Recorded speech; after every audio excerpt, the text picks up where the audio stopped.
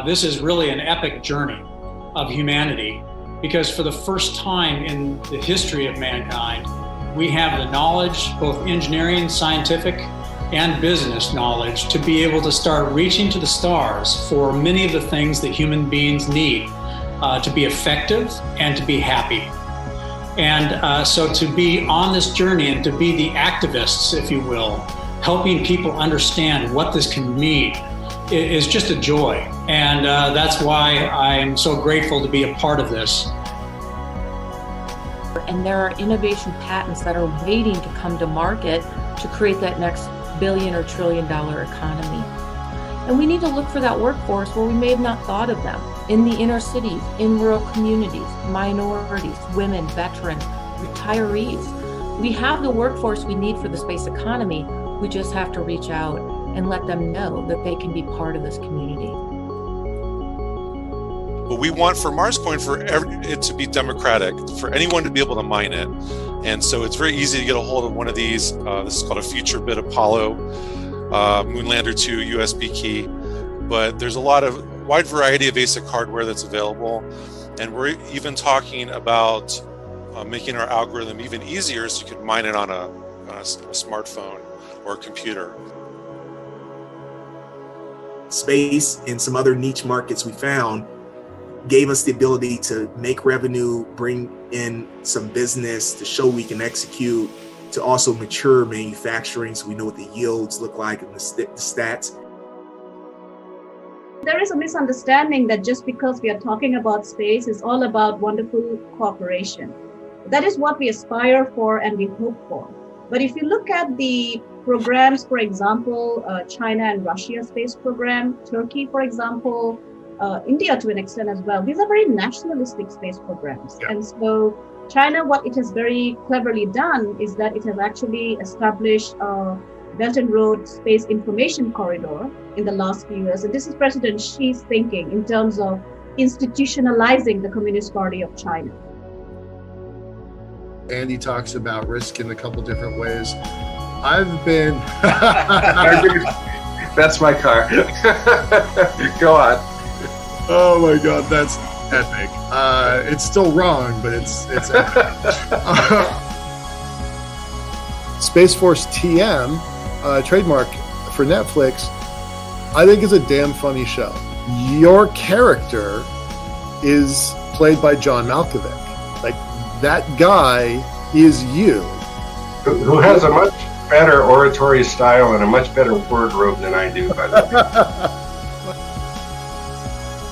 Um, and to me, when when we're ready to use a certain technology, a certain thing, not just for solving problems, but also for the expression of our very being and in who we are, I, I think that's one of the markers that that technology has arrived.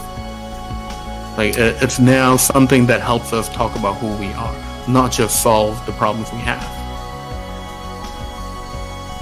The big moneymaker is probably in the near term going to be uh, the the backlog of space tourism that we're seeing. And so this has nothing to do with a government program. This is commercial companies making commercial, you know, doing commerce in, in the private sector, which has been um, really looked down upon in the news. But um, I think it's kind of exciting.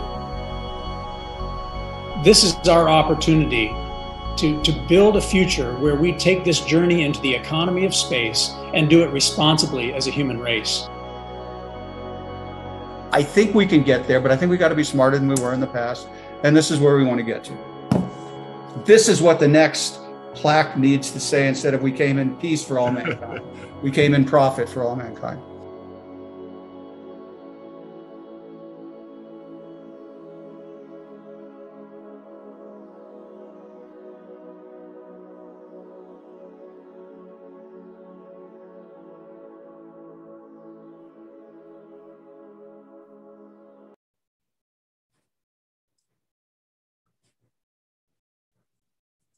Good morning, y'all. Uh, thanks for thanks for joining us this morning. Um, for me on the west coast of the United States, it's 6 a.m. So it's uh, uh, always always an early start for me. But uh, for those that are here, thank you very much. We're really grateful. Um, uh, yes, we're aware of some technical glitches yesterday, so uh, sorry for the for, sorry for the uh, headache and hassle on that. Um, the uh, links for today and for yesterday will be available on our uh, on our YouTube channel, um, youtube.com slash liftport. I'll post that in the chat here in a little while. Because um, we want to make sure everybody catches everything. So um, yeah, so that's where we are. We're starting out this morning. Um, uh, to recap a little bit about yesterday, it was terrific. Uh, so if you did miss it, I'm going to encourage that you uh, that you go catch the uh, the show yesterday. It was I think it was pretty amazing uh, to have both the um, the founder of the Mars Society, uh, Dr. Zubrin, the um, director of the Mars Desert Research Station, Dr. Rupert, and the executive director of the Mars Society, uh, James Burk. Between the three of them and, and the other guests that were also uh, quite amazing, um, Mark and Jen and Anastasia, uh, it was just a really interesting show. And, and um, we're definitely going to do more things like that. Uh, to my knowledge, the MDRS has never been covered um, in this in the way that we did it yesterday. So uh, I'm really excited about that. There was some really cool stuff. I took I took pages and pages of notes um, during that during that conversation. I probably took 10, 12, 15 pages worth of notes yesterday. Um, because as I as I had told James when we were establishing this program yesterday, uh, this was new content for me. I mean, even though I've been in the space industry for 20 years and I've visited the Mars Desert Research Station twice, uh, but not as a not as an analog astronaut, only as a uh, an outside observer. I called myself a tourist yesterday, and they all they all laughed at me for that. Uh, but it was it was fun. It was a really cool day, um, and you know, getting the insights from the folks that had actually been boots on the ground in this location uh, of what it takes to be that kind of analog astronaut, and then how do you apply that to being a real life in the world and in other worlds astronaut um, so I thought if so, it's worth taking notes on that. Um, um, Mark Levesque and Anastasia Stepanova and uh, Jin Sing Sai, uh, they had really good points on a how to how to um, you know be a participant in one of these experiments, but then also you know how to be a better human uh, in the world, right? So uh, there were some there were some really profound life lessons. Um, as one of the speakers talked yesterday about, um, you know, old goats and millennials. There were lessons from both both uh, you know age groups. It was it was pretty it was pretty clever. It was well done. I was very happy with it yesterday. And then after speaking with uh, James Burk after the event, uh, you know, he was he was pretty pleased. Um, I do have to make a couple caveats today that uh, we do have one one more um, MDRS speaker uh, that couldn't make the lineup yesterday. But the stuff we're going to talk about today is not not it does not have very much to do with the Mars Society nor the nor the Mars Desert Research Station. Um, we're going to talk about something that is somewhat controversial. I think it's a vitally important conversation. I'll, I'll share my opinions on that later during the program. We're going to talk about how to have babies in space, how to bring families to other worlds. And I know that we're a long ways away from that. We're going to talk about that.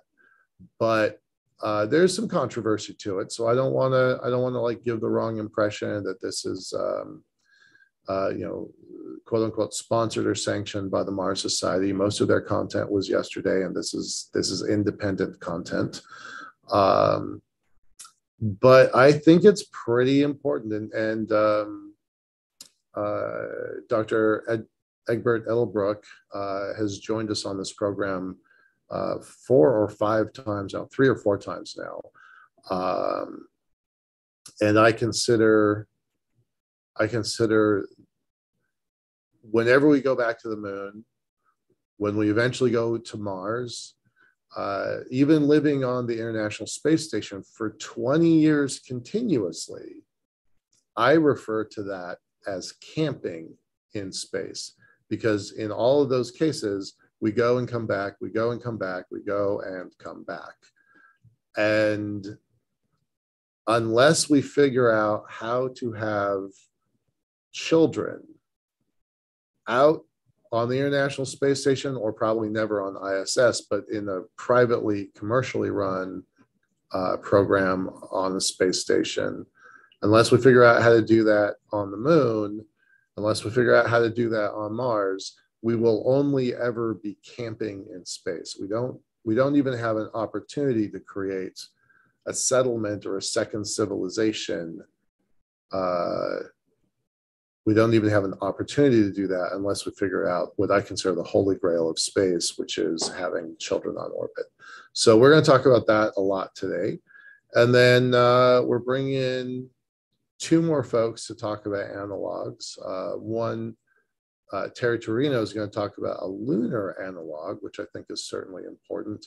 We, it doesn't get the same amount of visibility as Mars research or Mars analogs, but you know what? We're going to the moon way, way, way sooner than we're going to Mars as, as a species, not robots. Robots are already there.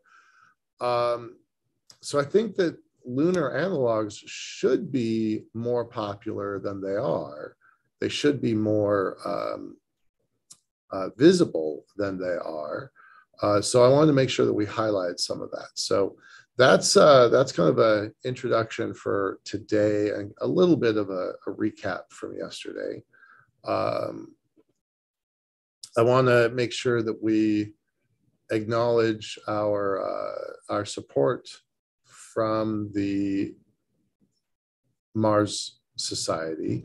Um, we've probably had, well, this this this event you know this weekend uh, being a, being an exception i think we had seven participants from the mars society all total. And then they've been involved with a couple of our other programs. So i probably have had mars society represented on um, three of our events so far. Obviously yesterday and today being the most significant but they've been a really great supporter. And just want to say shout out to all of them we are live streaming to to our channel to liftport uh, youtube.com slash liftport but we're also live streaming to the mars society channel at um, uh, on youtube as well. Uh, so they've been a really terrific sponsor and we really well sponsors wrong the wrong word but supporter supporter. Um, because uh, you know we're all space nerds. We're all trying to get out there. So uh, they've been they've been really terrific. Uh, so we really want to acknowledge them. Um, and the Center for Space Commerce and Finance has been helpful, and uh, the science fiction community of Axanar on YouTube. Axanar um, uh, is a uh, is a short film. It's a fan film uh, set in the Star Trek universe. It's super fun. Definitely check that out. Um, so we've had some we've had some support from a couple different organizations. Uh, the National Space Society has been really helpful. Um, I guess we got our uh, uh, initial support from the um, from the Foundation for the Future. International Space University has been involved. The chief scientist of U.S. Space Force has been involved. So as we've grown this channel, as we've grown this um, experience, we made some changes internally. Uh, we were originally, well, the company is still Liftport Group. We were originally around to uh, work to develop first the Earth's space elevator, and then over time we shifted gears and evolved to focus on constructing the lunar space elevator. Um, and then during the pandemic, uh, we had to pivot a lot just to stay in in, in business and stay uh, stay alive. So we started doing these um, conferences as a service. Uh, and now I think we're up to number 24 or 25. I've actually lost count. I'm going to have to look at that. But 24 or 25 events over the last maybe 18 months or so. Uh, and it's been really terrific. It's really been great. Um, we have three events this month. Um, that's the that's the biggest. That's the heaviest schedule we've had so far. Um, this living in space content. We've got another one on um, July 20th and 23rd to celebrate the uh, uh, landing on the moon, July 20th, 1969. Uh, so the Moon Society is hosting an event. Uh, well, we're hosting an event for the Moon Society called the Lunar Development Conference. You can check them out at themoonsociety.org. And then um, uh, uh, a cryptocurrency project called Marscoin contacted us to host an event for them. That's a really intriguing program. So that's marscoin.org. And again, I'll post all these links here in a little bit. Um, so, why are we doing this? Well, ultimately, building an elevator on the moon is expensive. And we needed to have a new, consistent, independent revenue engine above and beyond our research and development programs uh, and our uh, intellectual property monetization strategy. We wanted to have a new source of revenue that was also uh, inclusive of our community that was um, uh, really focused about around education and about kind of doing outreach to the vast community of people interested in space. So that's that's kind of how we came along with uh, built the model of um, of better futures. And you can find our upcoming programming at betterfutures.space. Pardon me. Um, we've got, this is our main program. This is kind of, I'd say, our flagship, uh, the Living in Space program. We do it monthly. Uh, and we look at lots of different aspects about going to space, but it's all about people and so we focus on the moon, Mars, and space stations.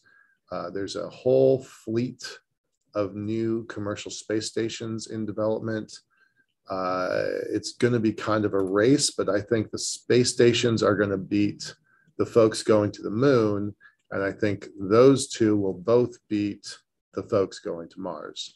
So we're trying to kind of keep our finger on the pulse of all of that and ultimately, you know, we'd like to see 15,000 people living in space. Now, that's an arbitrary number. 15,000 is mind bogglingly large. Um, I think there's uh, seven people on orbit today.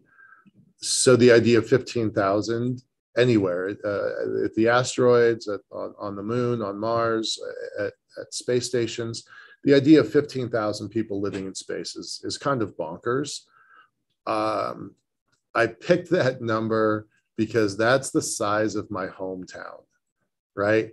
15,000 people. It's a city. It's not quite a city, but it is a small town.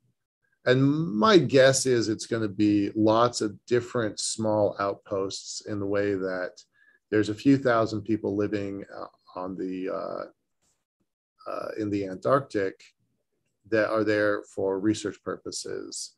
Um, and they have tiny, tiny, almost villages, almost villages, uh, a couple hundred people, in some cases, a thousand people. Um, so that number changes uh, with each season and, and, the change of seasons. Uh, but I think that those are achievable goals 15,000 people living in space, uh, the moon, Mars, and space stations. and we want to be the folks that are kind of tracking that uh, human migration off world. Um, uh, Dr. Peter Diamandis uh, is one of my professors from International Space University.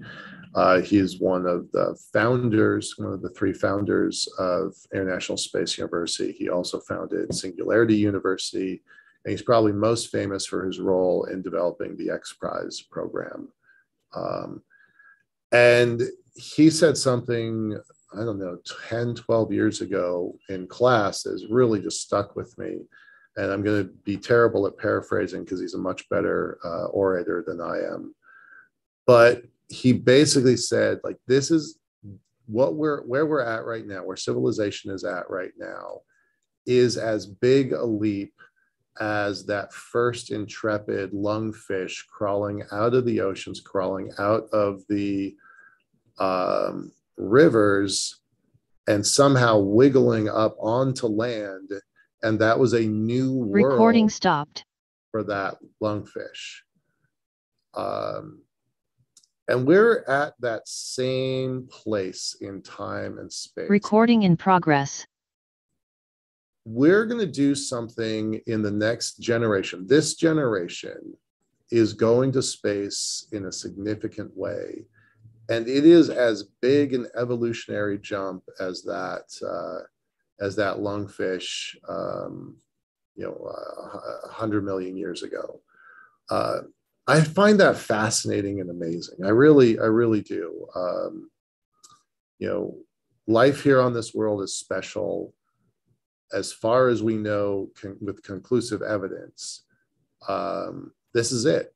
And and we are going to take life from here and we're going to we're going to move it out into the solar system. Uh, and it's going to be this generation that does that. So I I'm fascinated by this idea. I'm fascinated by the changes and the exploration and the science but ultimately, I'm fascinated by the idea of humanity spreading beyond Earth. Um, Dr. Rupert had a had a line in her slide that said, "When we leave Earth," and I just thought, "Gosh, that's such a recording a stopped. idea. It's a brilliant phrase." Um, so that's what this that's what our programming is all about. Now i'm going to stop kind of getting all philosophical about that. Um, i want to make sure that i uh, acknowledge my team.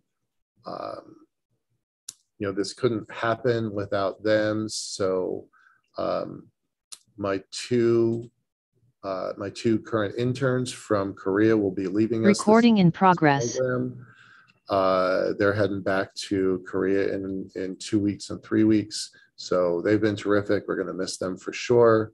Um, uh, my uh, that's that's uh, Gion and and Youngin. They've been great. We're really happy to have them here. Uh, they've really kind of helped streamline some of these processes that we have. Um, Fabio and Yusuf are necessary and, and awesome uh, to handle our technical support.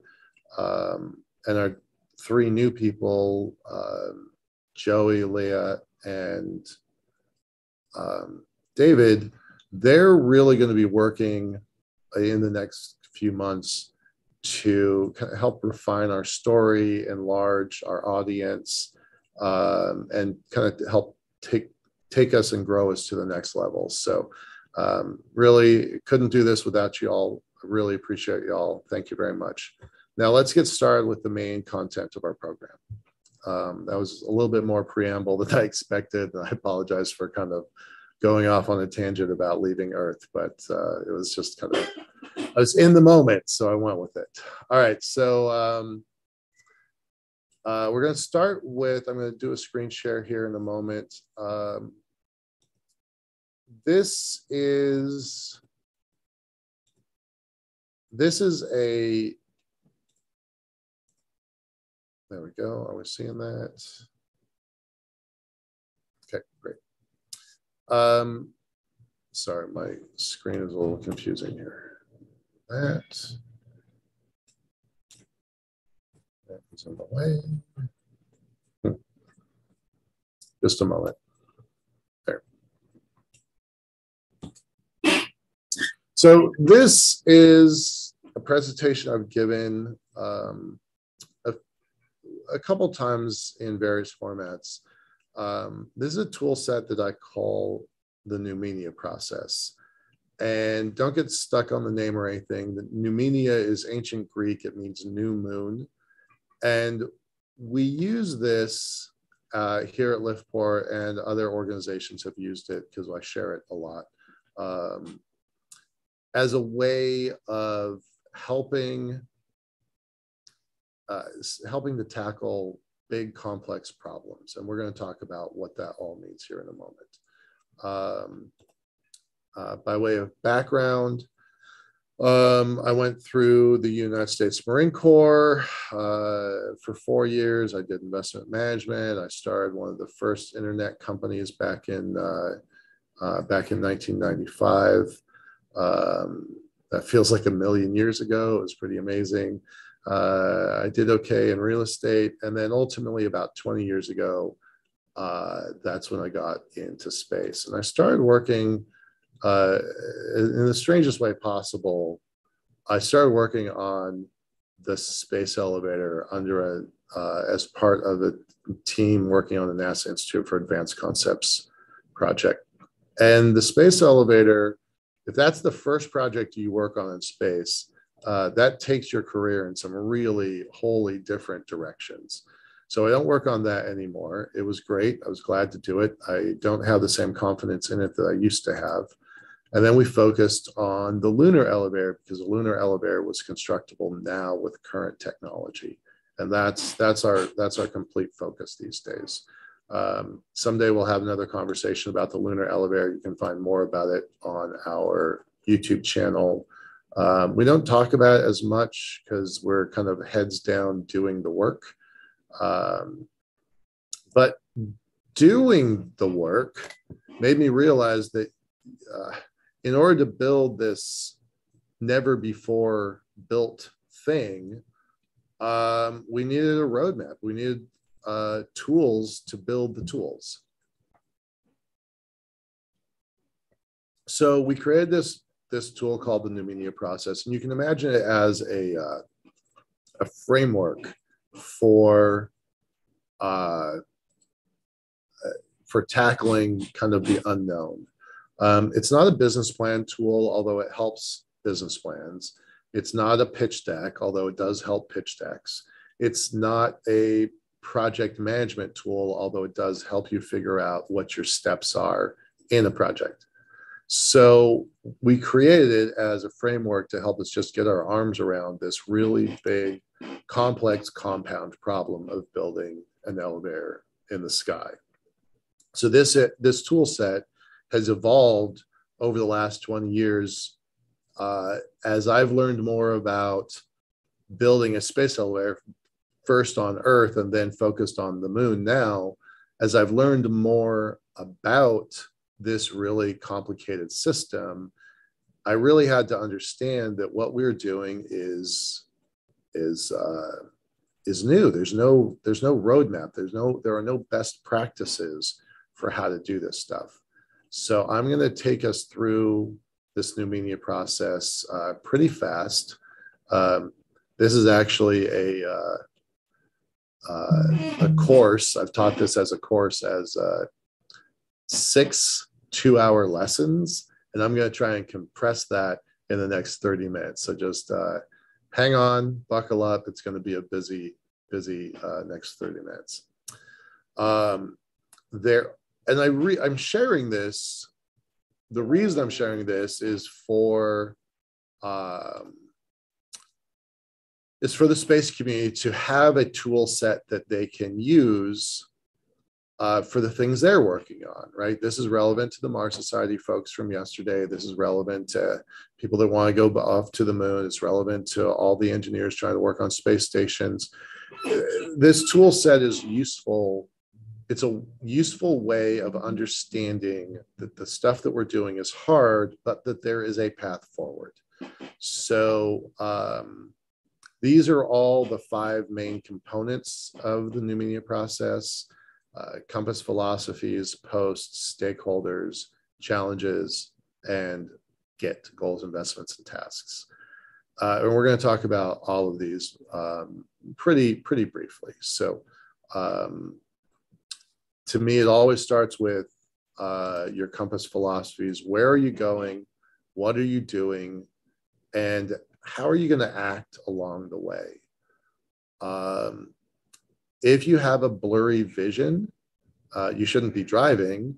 And if you have a blurry vision, you shouldn't necessarily be embarking on a on a mission to Mars, right? So um, having having a very clear mission, an idea of where you want to go five years down the road, 10 years down the road, 20 years down the road.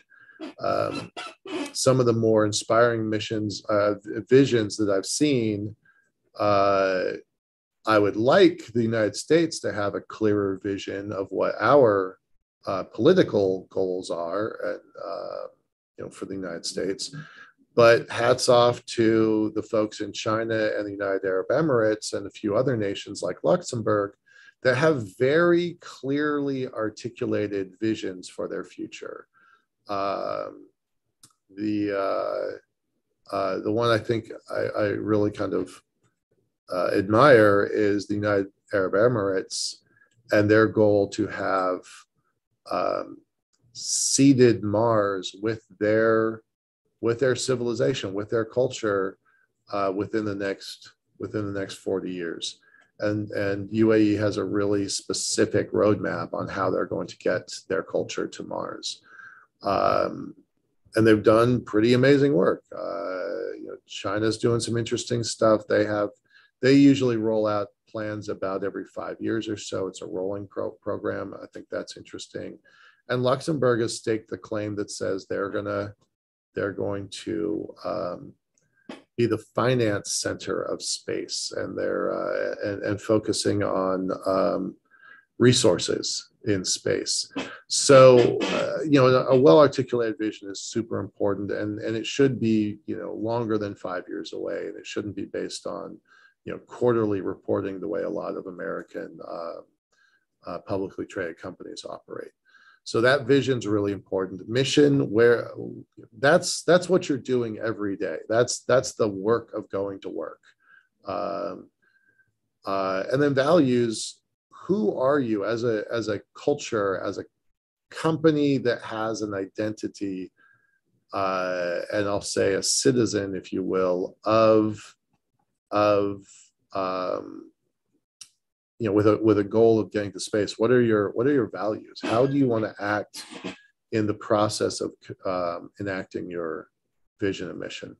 So super important. If you get that wrong you are going to have a really really bad day um, and i think that there's a way that you can take all the key words of your vision mission and values and prioritize them uh, because that changes the scope and nature of your company. And so, for examples, um, you know, Dropbox is a Silicon Valley darling. Um, uh, it went through the Y Combinator program, and they didn't have a product. The only thing they came out of that program with was a single video that that that the video was their minimum viable product that, that if they could promote that video get it out into the world have it seen by millions of people that that would validate the market that they wanted to build as a data storage company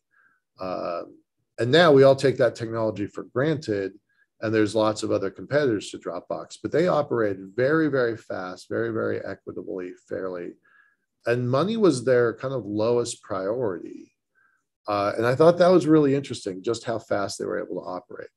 Now, Kickstarter's operated with, you know, I think six billion dollars in transactions, you know, uh, um, some huge number, 30 million backers in their community, but they were always focused on fairness. They were always focused on um, making sure that the creators of their uh, campaigns um, and the backers of their campaigns got a fair shake.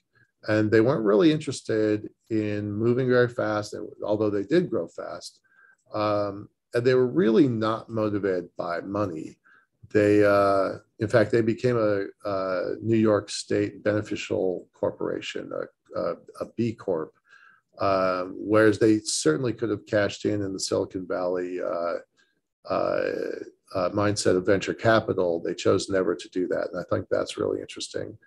And then finally, if you're only motivated by money and you're not concerned about being fair, then the simplest thing you can do is just go rob a bank, right? So these three words, uh, fast, fair, and money, these three words in a different order give you a different kind of company, a different kind of organization. So you should take a look at your vision, mission, values, determine what your key words are, and then prioritize those key words. And you wind up with a different kind of company if you do it that way. Um, the next step, oops, sorry. The next step in the Numenia process is post policies, objectives, strategy, tactics, and time, temporal and time. And that I think is the meat of you know how you get started, right? Once you figure out your your your vision, mission, values, now it's time to actually get to work. And the first place you have to look at is the policies that exist that constrain or compel your actions. So I live, uh, uh, you know, I have a, I have an office um, in the city of Tacoma. I live in Federal Way. It's in Washington State, south of Seattle. Um, you know, the office building itself has has policies, right? That's at the hyper local level. Um, I've got to comply with uh, city and county regulations. Fortunately, my city is really supportive of, of some things. Um, I got to pay taxes at the state level. There are regional benefits to being in this uh, corridor that stretches from Vancouver, uh, British Columbia, down to Portland, Oregon this region is very um, technologically savvy, with Seattle being the, the cornerstone. Um, but it also has you know, massive engineering capabilities here because Boeing started here. So, what are the policies, jurisdictions, and, and value of being in a region like this? And then, what are the national policies? If we're trying to build an elevator on the moon, we certainly have to comply with a lot of national policies with the FAA, um, NASA, NOAA, Department of State, everything.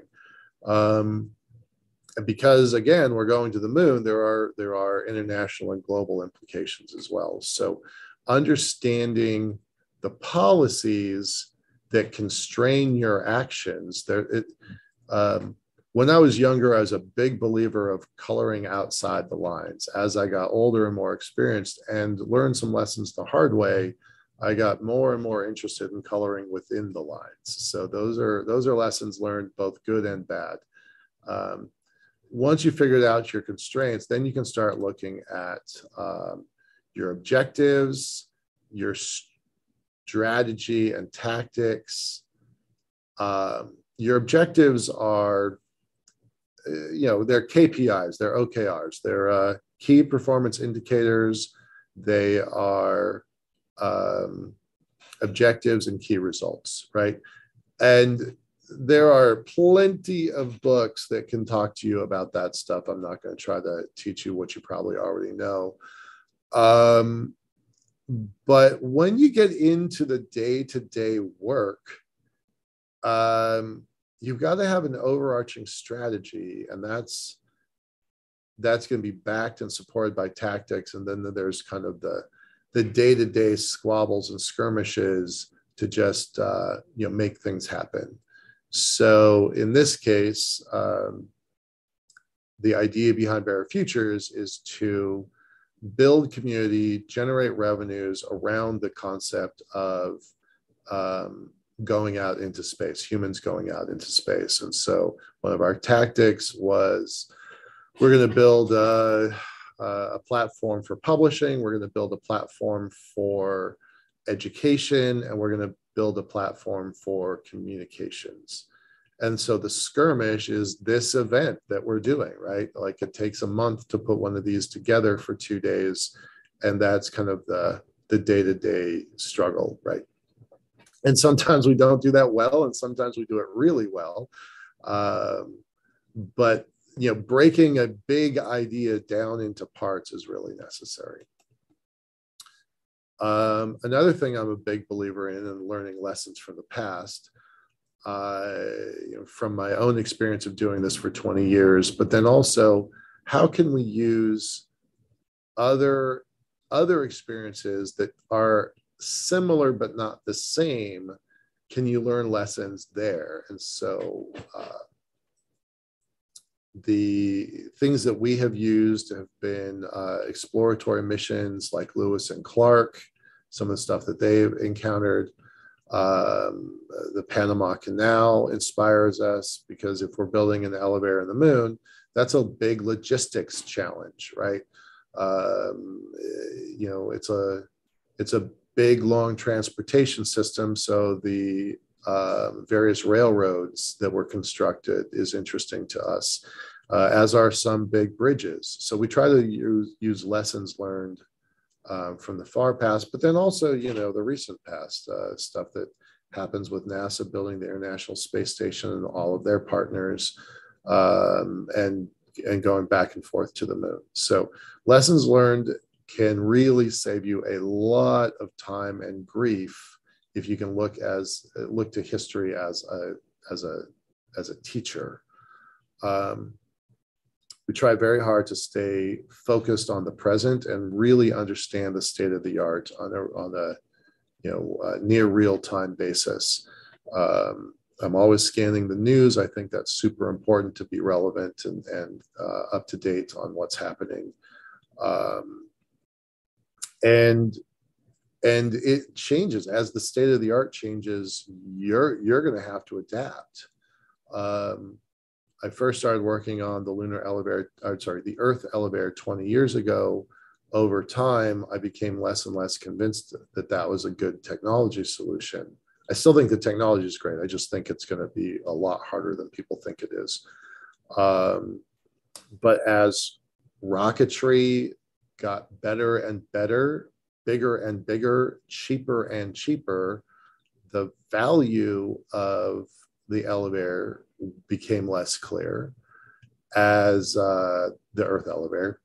Um, as we had more and more satellites go into the sky, um, uh, the elevator definitely would have challenges because of the just the sheer uh, volume of satellites going up. Uh, when we started um, there were only about 400 satellites in the sky 20 years ago. There's there's I think 6,500 up there now. Uh, they're not all active, so there's a lot of uh, zombie sats up there. But there's also um, a growing debris problem, and so the state of the art made me change the state of the art of the technology made me change my my core philosophy away away from the Earth elevator and more focused on the lunar system. Um, as technology just continued to improve and the environment, the ecosystem, the economy of going to space changed, um, it forced me to shift gears to focus on the moon. And then, like, okay, if you look at the past and then take a look at the present, that gives you an idea about what the future might look like. So trying to trying to scope this in um, in context. Um, the last section of the new media process really has three parts. It's called the action matrix. The three parts are the stakeholders, challenges, and get goals, investments, and tasks and they all have their own sections as well. But if you can imagine a spreadsheet, an Excel spreadsheet, uh, you know, you're going to have rows, you're going to have columns. Uh, I just said that backwards rows, columns. Um, and then they're going to intersect into a cell. And if you're using if you're using Excel, you can have multiple tabs at the bottom, so you can kind of build that into almost a three-dimensional, meaning using time, you can build that into a three-dimensional to-do list. So this action matrix is kind of built like that, if that makes sense. Um, stakeholders, challenges, and goals, investments, and tasks. So stakeholders are the people who care, right? They're the ones who are paying attention that what you're doing matters. Now, if you've got 7.8 billion people in the world, they are not all stakeholders. Most of them will never have heard what you're doing about what you're doing. Most of them. Um, but some of them will, and some of those people are going to be really, really important to you. Um, your clients, your family, your competitors, your government, you know, the media, investors, all of those people have a stake in what you're doing. And maybe it's not financial, maybe it is, maybe it's emotional, maybe it's not. Um, but the defining factor is who cares about what you're doing.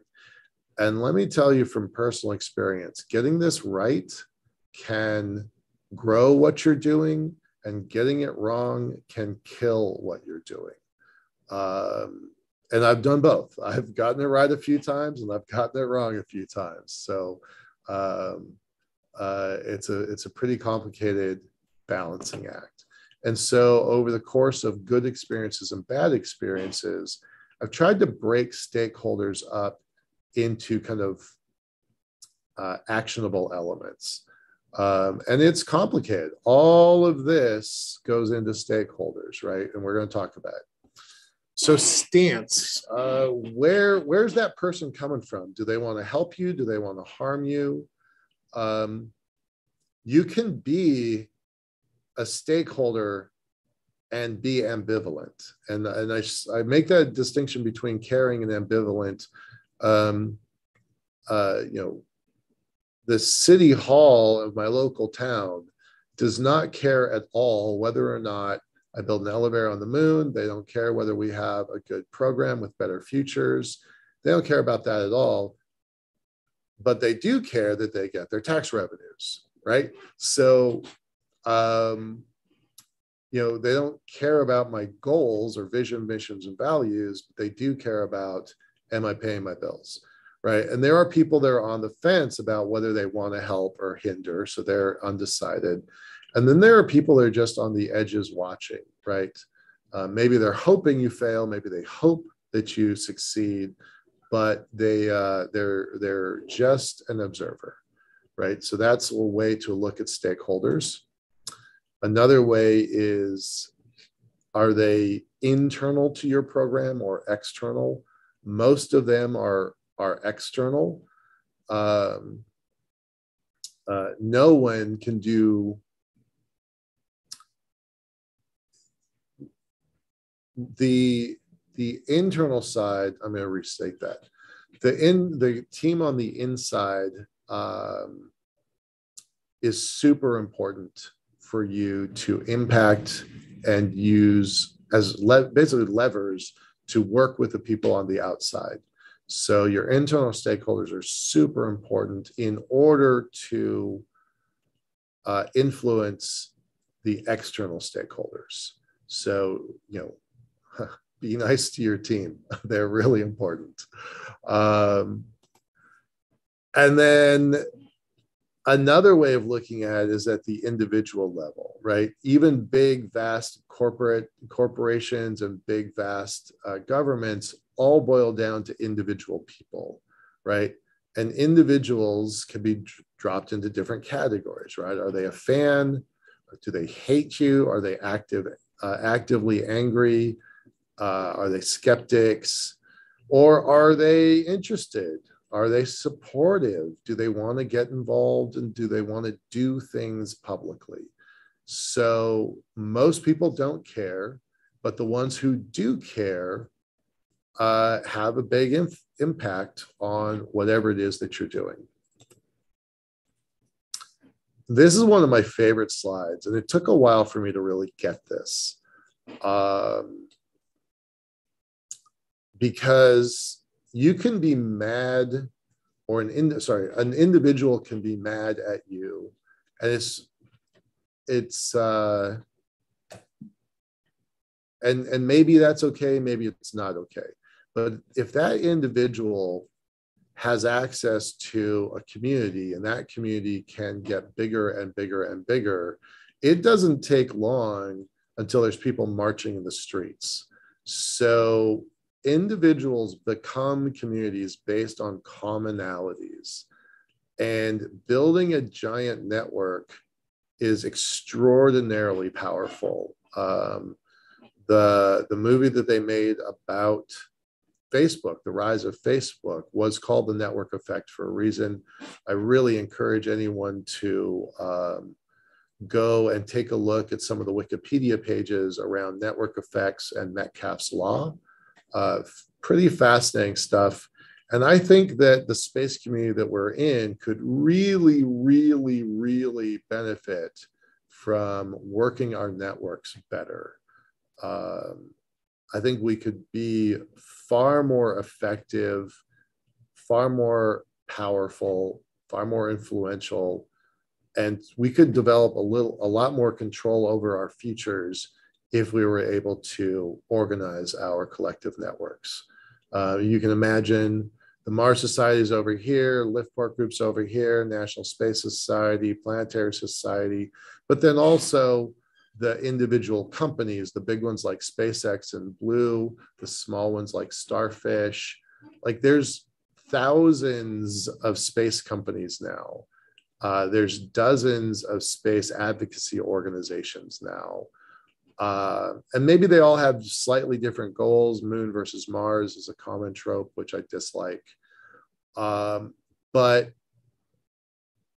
but if we were to galvanize our networks, we could accomplish some really big things. So um, kind of ponder that for a minute. Finally, as we start closing down, um, stakeholders can be kind of broken into uh, organizational functions. And you work with governments differently than you do with nonprofits, and that's different from how you work with corporations. Um, uh, we break all of our programming at Better Futures and all the stuff that we've done for the lunar elevator into these four big buckets hardware, business, outreach, and framework. I'm pretty sure you all have a pretty good handle on what hardware means, since ultimately what we're doing to go to space is all dependent on hardware. Um, but these challenges can be broken into subsets as well. Uh, science and discovery, technology and engineering, and production and scaling. Um, I was on a project once that was looking at space-based solar power, and uh, you know, there was a breakthrough in the lab that said, oh, you know, we're going to get, you know, 28% uh, efficiency on this solar panel. So I called them up and I called the company and I said, what, well, you know, the lab. And they're like, oh, yeah, um, we can only make, you know, uh, it takes us six months to make, uh, you know, 500, uh, uh, 500 watts of this stuff. And, and I want you know the team I was working for wanted you know, megawatts or gigawatts. So you needed to build entirely new factories in order to get that product from the lab through engineering up to scaling and production. So definitely a challenge there, and we see that in space all the time. Um, how do you pay for it? Who's going to pay for it? What does operations look like? All necessary uh, elements to this. Um, telling our story. You know, yesterday, uh, Laura Forczyk came on the program as she's really, really great to talk about kind of analysis, and she's a really good reality check. She tells us what's wrong with what's with what we're doing, and and that's really and it is not not as she's a curmudgeon. She's a big supporter, but um, she helps us uncover our blind spots. And our blind spots in this field is that we're really terrible at outreach. We're really bad at telling our story, which is one of the reasons why we created the Better Futures series in the first place. Um, Inmarsat just posted a really great, like 30, 35 page um, uh, paper that basically gives facts and figures about just how bad we are at outreach as a, as a global community of space. Uh, it was pretty interesting. I'll, again, I'll post that link here in a bit. Um, and then challenges. What are the, you know, we've talked about the, the policies, but, you know, you can change policy as well. Um, what's the environment look like, both uh, from the social definition of environment and the physical definition of environment? What are the laws and policies? What are the insurance requirements and regulatory requirements? So all that fades into into um, uh, all all of that fades into our challenges section. The final section is goals, investments, and tasks. That's really well known. Like I don't spend a lot of time with that because everybody else knows how to do this, right? What are your goals? What are you going to try to accomplish? How much are you going to spend? And there's different kinds of capital, right? There's different kinds of capital. And that's one of the things that sometimes gets overlooked. We tend to think of capital as just dollars and cents. How much money do we have in the checking account? but you know i have a small team i've got to i've got to assign tasks to my people um, and so you have to you know that's human capital right? Um, in my field we don't have a lot of natural capital but but in some places we do. Certainly going to the moon and mars is going to rely on in situ in situ resource utilization so there's a natural capital component there. So goals investments and tasks. Tasks are just what you're doing. That's your to-do list. And how what are you going to do to prioritize the things you've got to do? Um, so that's the numenia process in a nutshell. I know i went through it very quickly. Some areas i kind of overemphasized. I really think it's important to get the uh, vision vision mission values correct understanding what your objectives are what your policies strategy and tactics are um, if if you get this stuff wrong, it can be very very costly. But if you get it right, you can do extraordinarily well. So um, I really want to encourage everyone to kind of consider this when they're going out and trying to do uh, these big things that we're all trying to do.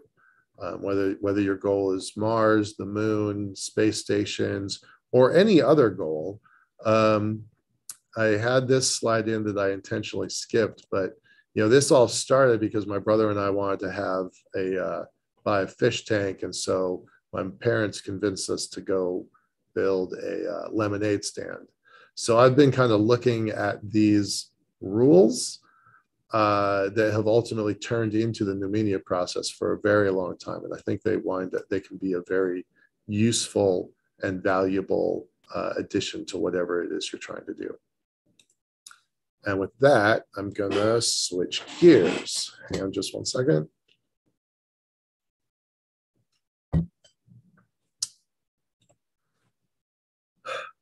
All right, it is time to switch gears and bring in uh, Dr. Edgar Elbrook, Eg- Egbert Edelbroek. Gosh, I've known you for a year and a half. I can't believe I just said your name wrong, guy. Sorry about that. Uh, let me promote you to panelists. Mm-hmm. Give me a second.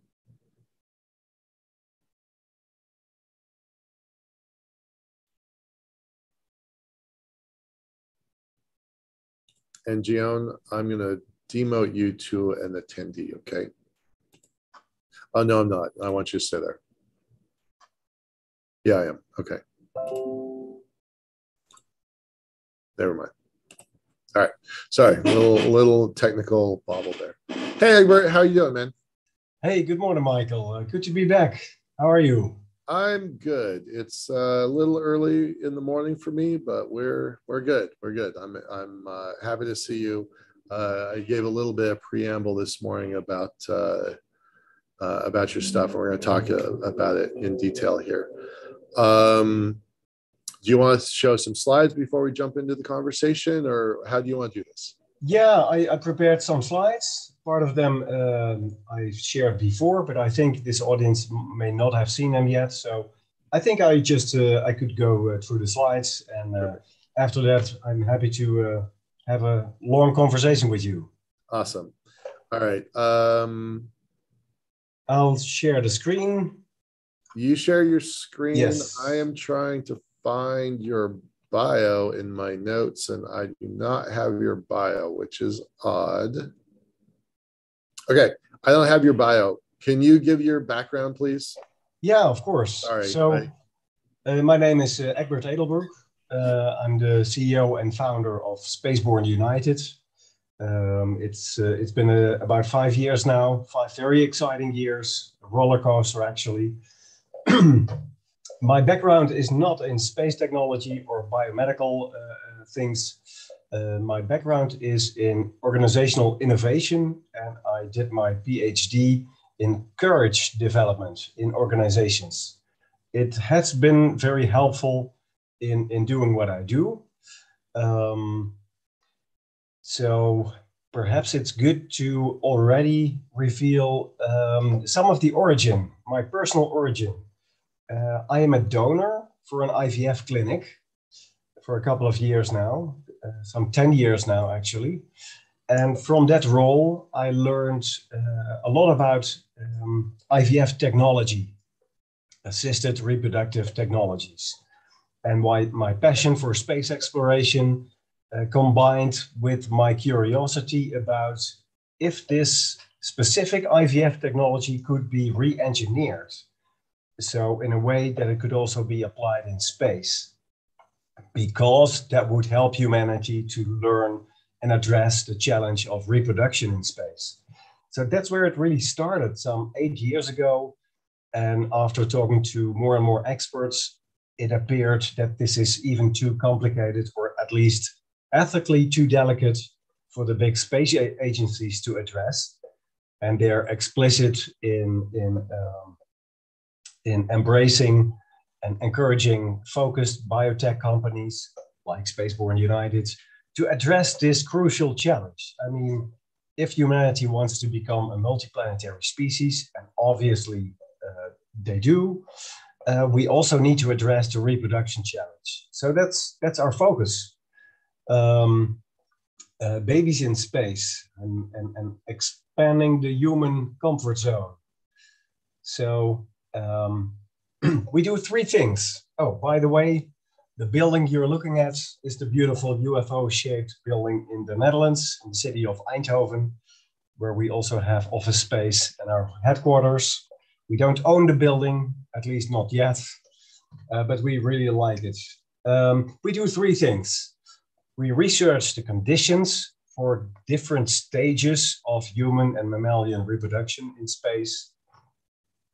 We translate the outcomes of this research into mission designs um, and a missions program, um, including the implementation partners and the execution partners.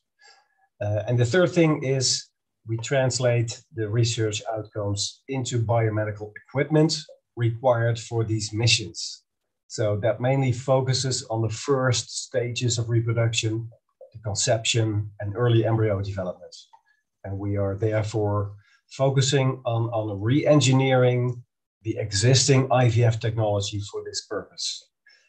So um, I already briefly went into this topic. You would expect something big like this to be addressed by the big agencies or the commercial big, uh, the big guys, the, the, the, Virgin Galactics or SpaceX, as they are also um, as they also work on, on, on plans to, to uh, create human settlements on Mars. Um, so it, it's a matter of, of, of difficulty of, of spending taxpayer money on ethically delicate matters, but also um, a president needs to to show his course, and and and uh, it's usually if if Trump uh, focused on Mars, then Biden needs to refocus on, let's say, let's first go to the moon and then to Mars, or vice versa.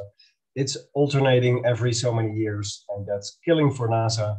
So that's also difficult for them to address these long term challenges like the reproduction uh, topic. Um, but they, they uh, explicitly encourage companies like us. So I've been talking about different stages of reproduction because obviously reproduction is not just one thing. It's a topic that is that you can divide in different different stages, and we focus on on the different pieces of that puzzle. Uh, I mean, we are the, the name of our company is Spaceborne United, so that's a clear hint to our very long-term uh, mission and goal of also enabling childbirth in space. Uh, but 80%, 85% of what we do is focusing on this very first stage, the conception and the, the very uh, first five days of embryo development. Space is also not one area, it has many areas, and we start in low Earth orbit. Um, so the existing assisted reproductive technology, we're extending this into space, and then we have artists. So we, we have called this Mission ARTIS. This is our mission patch. Um, so what kind of challenges do we have to deal with when re-engineering this technology? Um, of course, when, we, when you take uh, space life science you take life science experiments to space, you have to deal with the two big challenges of, of, of uh, gravity and, and radiation. Uh, so we, we, are have, we have to designate specific orbits, specific low Earth orbits, um, to stay well under the norms for radiation exposure, especially, especially the norms for radiation exposure for uh, embryo development. Um, so that's fairly quickly tackled. Um, the gravity issue is, is much more complex. Uh, we need to convince ethical committees and, and, and we need to get regulatory approval before we can actually move from animal cell using animal cells to u- using uh, human stem cell embryos and later on actual human gametes that turn into human embryos so we first have to, we also have to provide Earth-like gravity. And we do this by adding ro uh, adjustable rotational uh, gravity in our IVF device to, um, to make sure that these embryos experience the same gravity more or less than on Earth um, as a first step. Because um, eventually we uh, the, the added value of what we do especially from a scientific point of view is that we can prove uh, that we can study the partial gravity effects on embryo development. So if we want to have sustainable independent human settlements on mars we also need to reproduce there. And we need to be able to be sure that the Mars gravity environment will be sufficient for healthy embryo development. And many of our experts have very serious doubts. It's a big difference, 1G or 0.39G. So we might learn that this will not be enough. And then we can start varying the gravity level uh, to any level that, that will prove to be the minimum level. That might just be, I don't know, 72% of the Earth gravity um, but this, this outcome, this, this partial gravity research is crucial for um, the architecture of, of, of some structures on, on Mars in the future. If, for example, we find out uh, the Mars gravity itself is just not enough for healthy embryo development, solutions could be created in terms of uh, rotating uh, bedroom areas for pregnant women where they compensate during the, during their sleep, and they spend seven or eight hours in I don't know one G or 1.3 Gs. That's for the astrobiologists to find out. It's our task and our challenge to find out what is the level of gravity that is required. So that's the scientific added value of what we do. Um, here you have a visual of uh, standard on Earth uh, IVF technology, the, the, the embryo incubator. This is the main technology that we are looking at and re engineering. Uh, on Earth, it is used for people with an IVF indication. So that means uh, they have problems to get pregnant in a completely natural way. Um, we are not using this device, so it's used for embryo selection. They, they, they insert um, uh, usually some 10 or 12 embryos, uh, very fresh embryos from a patient. And then they, they have this time lapse. They monitor the embryo development on an individual basis. And after five days, they can, they can uh, see which of the 12 embryos uh, have the best odds to, be, to result in a successful pregnancy. So that's called embryo selection. Um, we are not using this technology for embryo selection at all. Uh, we are not working with, with um, well, let's say compromised gametes. We're working with, with uh, female and male cells that are perfectly normal uh, and capable of reproduction without help uh, in a normal situation. So we are using this technology to create a life support system uh, that enables the embryo development. And we add a few functionalities uh, to make sure it will also enable conception. So the, the, the semen, the sperm, and, and the oocytes, the female cells, they are separated in the beginning, and they will only, um, the sperms will fertilize the oocytes in space. Um, we also add the functionality of cryo storage.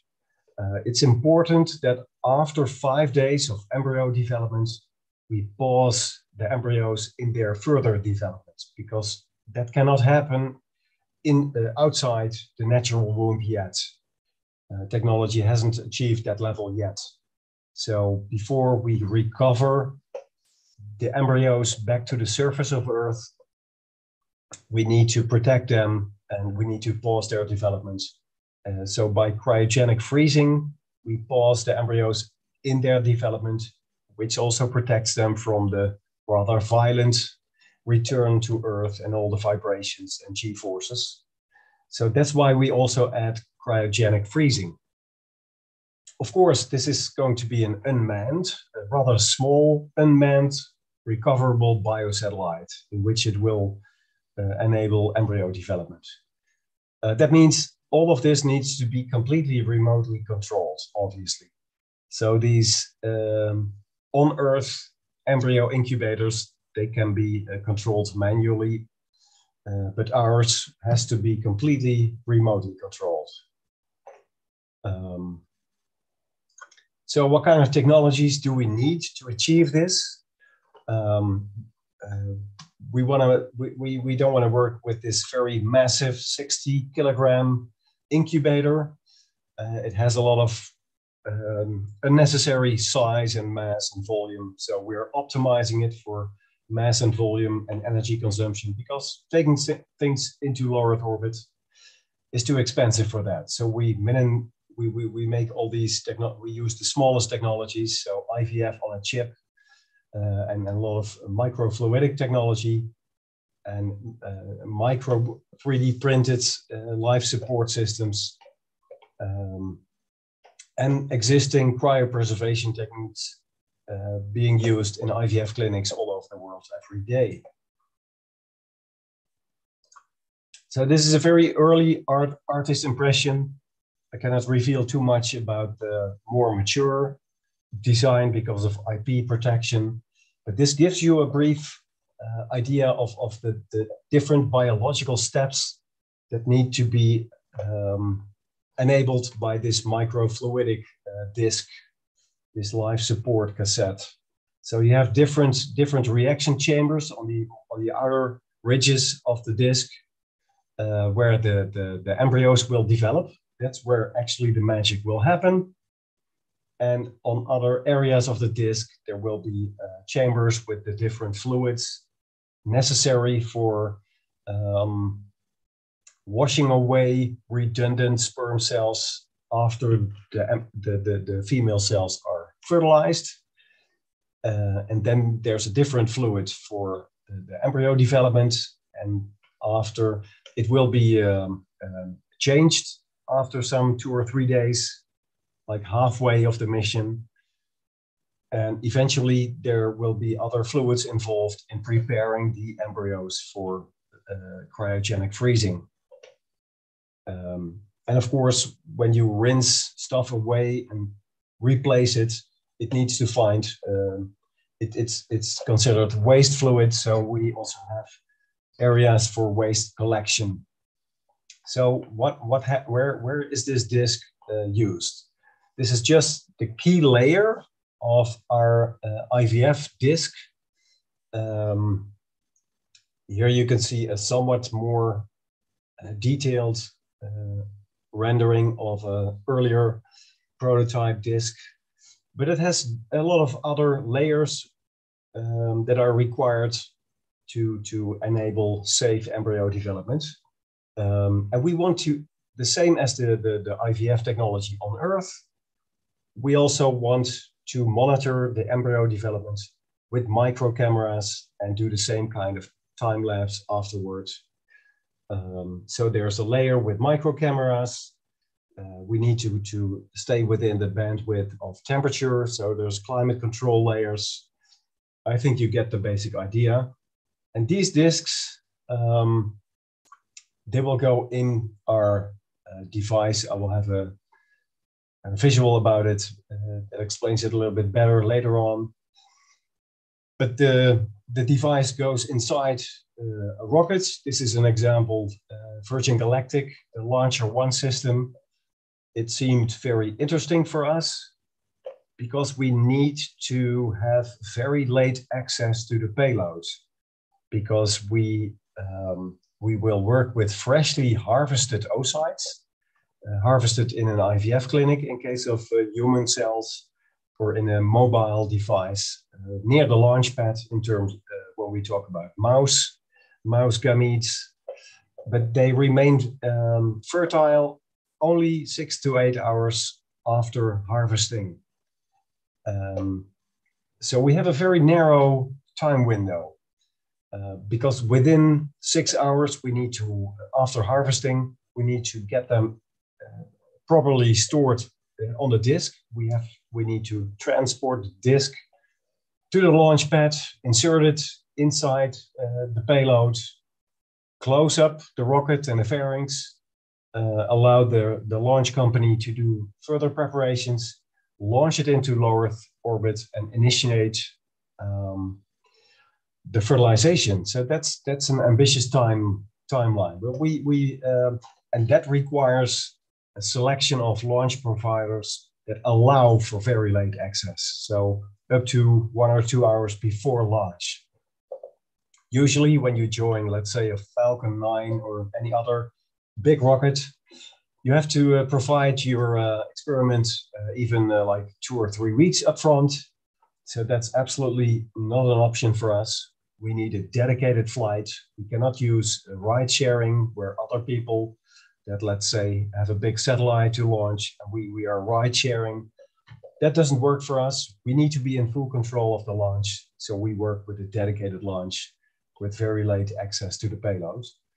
One of those options is uh, the Launcher One system, a very smart approach that uh, takes the rocket, a very small, affordable rocket, up to about 12 kilometers of altitude by the Boeing, the, the Cosmic Girl, as Virgin Galactic call them. Uh, and then you only need this very small, affordable rocket to do the rest uh, all the way up to uh, low Earth orbit. But still, there are other interesting options, uh, which I will explain in a few minutes. Um, so as I mentioned, we, we uh, designed the missions, uh, let's say door to door, starting in an IVF clinic, um, all the way um, from um, the launch to the operational stages and, and the recovery, and then the transportation back to the IVF clinic for examination. Um, and of course, before the launch, there are there's a lot of preparations to do the pre-launch stage. Um, I don't think it's necessary to go in, into all these details, but just as an example to show um, the completeness, the completeness of what we need to do to define the research, the um, the missions program. Of course, we don't do this just with a, a, few people. Uh, we need a lot of help and support from our implementation partners and expert teams. Uh, this keeps changing. There's new companies joining again. Um, but this gives you an, an impression of the type of companies that are involved to help us with the preparations and execution of our missions program. Um, yeah, I should uh, I should name Cranfield University as specifically as they are doing a lot of work for us. We're very happy with them. Uh, they've been helping us for, for, at least four years now. A lot of people, and um, I'm going to talk a little bit more about SpaceRIDE in a minute because they're also um, crucial for us. Um, so, what's going to happen um, in the near future? Um, I learned from Michael that um, a nice phrase hardware beats PowerPoint. So, up until now, people could say we are a PowerPoint company. We have nice plans, nice designs, nice experts, but that's it. We have a good story. Um, but fortunately, we have transitioned already into a hardware company because we are we have started uh, making uh, making the assisted reproductive technology, uh, and we're actually getting it into space probably before the end of this year. Um, so, oh, this, this slide is actually obsolete already. We're not going to work with Denmark University anymore. They have great stuff, but they charge too much. We found um, companies that do it even better for um, a lot, a lot less money. Um, but the fact that we uh, get get our hardware in space, our very first IVF in space prototype, it will be joining a test flight. Uh, probably by the end of this year, maybe January, probably November, December. There will be a lot of media craziness uh, by then. Um, and next year or early 2024, we will have our first uh, life science experiment in space. So then we will also include a first, um, the first mouse gametes, um, the mouse sperm and, and, and eggs inside the disk uh, and we will monitor actually the, the, embryo development in space. So that's what's happening in the near future, and, and, and the hardware manufacturing is uh, is being um, it, it's it's being done as we speak. So I showed the example of uh, Virgin Galactic with the Launch One system as an option that we've explored very seriously. Uh, had a lot of discussions with uh, the, the vice president um, of, of um, Virgin Orbit, Stephen Eisele.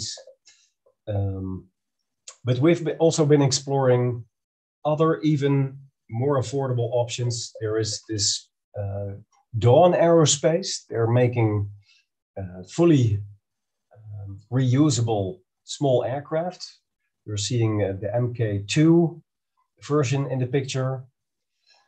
Uh, and they're working on a much bigger one, the, the, the type that we could use that is capable of carrying 150 kilograms into low Earth orbit. This one is only capable of transporting, I think, about five to 10 kilograms. And the question marks uh, are referring to uh, the SpaceRIDE option, so that's probably the company that we will be working with. We are in discussion with them to in, in much detail. Um, there will be some press releases soon, but I cannot reveal too much until then. So this is public information. It's also visible on our LinkedIn page. So nothing secret here I'm sharing. So what do they do and why is it so smart what they do? they go even further up into the atmosphere without launching the rocket, um, even further than Virgin Orbit. They take the, the, the small launcher one up to 12 kilometers, but SpaceRide will take their small rockets um, to an altitude of 25 kilometers. So by then you have skipped about 99.8% of the atmosphere and the atmospheric drag. So then you only need a very small, affordable rocket that doesn't have to uh, deal with so much air resistance or atmospheric drag. So max Q or those terms, they don't mean anything anymore, pretty much for, for, for this situation. So after the balloon reaches this altitude, the rocket is released and does, uh, and the main engine uh, fires it to, uh, to low Earth orbit. And uh, we, we expect we will be working with them, but in a few weeks there will be news about it. Other implementation partners that are very important for us. Uh, this is a spin-off from Cranfield University, actually, a group of young um, engineers, um, PhDs. Um, they've already had their, um, well, let's not go in too much detail. This is the company that is especially helping us to manufacture the microfluidic disk and the other subsystems that form the life support system inside our biosatellite. So inside the, oh, let me go back quickly. I didn't explain this visual here. This is showing a re-entry device um, with the capability of, of bringing back payloads from orbit to the surface of the Earth um, with the heat shields and everything. Uh, so we are talking to different providers. It's it's unusual to take stuff back to Earth. Well, of course, when you're sending humans to space, you want them safely back on Earth. But for the rest, 99% of what you send up to space is satellites and other stuff that you don't need to to uh, to bring back in one piece but in our case, we're doing uh, life science experiments and we want those embryos back to examine. Uh, so inside this such a re-entry device is where our satellite will be. Um, and that's where they come in. And this is another um, another uh, short visual that is showing a pressure vessel. You see you see a disc which will be mounted inside this re-entry device. And on top of it, they're building a pressure vessel. And you see some cylindrical shapes here.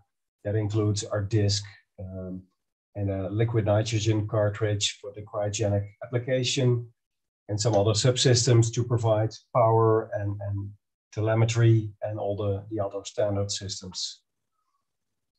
I mentioned Cranfield University with Professor Cullen uh, and some uh, graduation students. We, we, we've learned a lot from a lot of uh, mass science graduation projects where also students were involved. Um, but what we do is not only helpful to address the reproduction, uh, the human reproduction issue.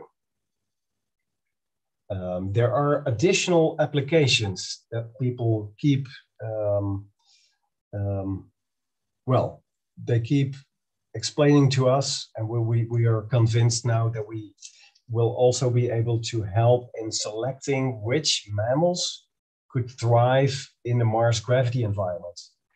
So uh, with people, it's it's feasible to tell them, okay, you're going to be you're going to be pregnant. That's not healthy for your baby. You need to spend some hours each day or night in some rotating area, and they will do it, of course. But that's very difficult if we really want to terraform Mars with, with uh, uh, biodiversity and, and, plants and trees and, and, and uh, animals living there.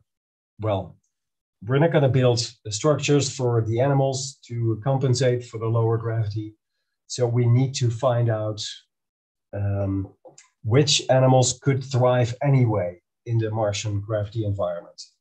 And uh, we can also study um, uh, mammals in our device. It's considered a research platform in that respect. And we can study which, um, which mammalian embryos will thrive in 39% of the Earth gravity. Looking at the time, I think we have time.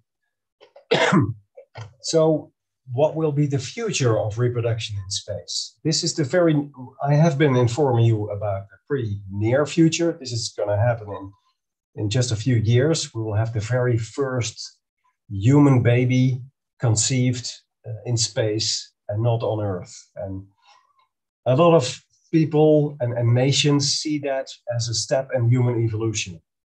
Um, and, and that's why we are not only uh, providing scientific data and filling the data gaps around partial gravity.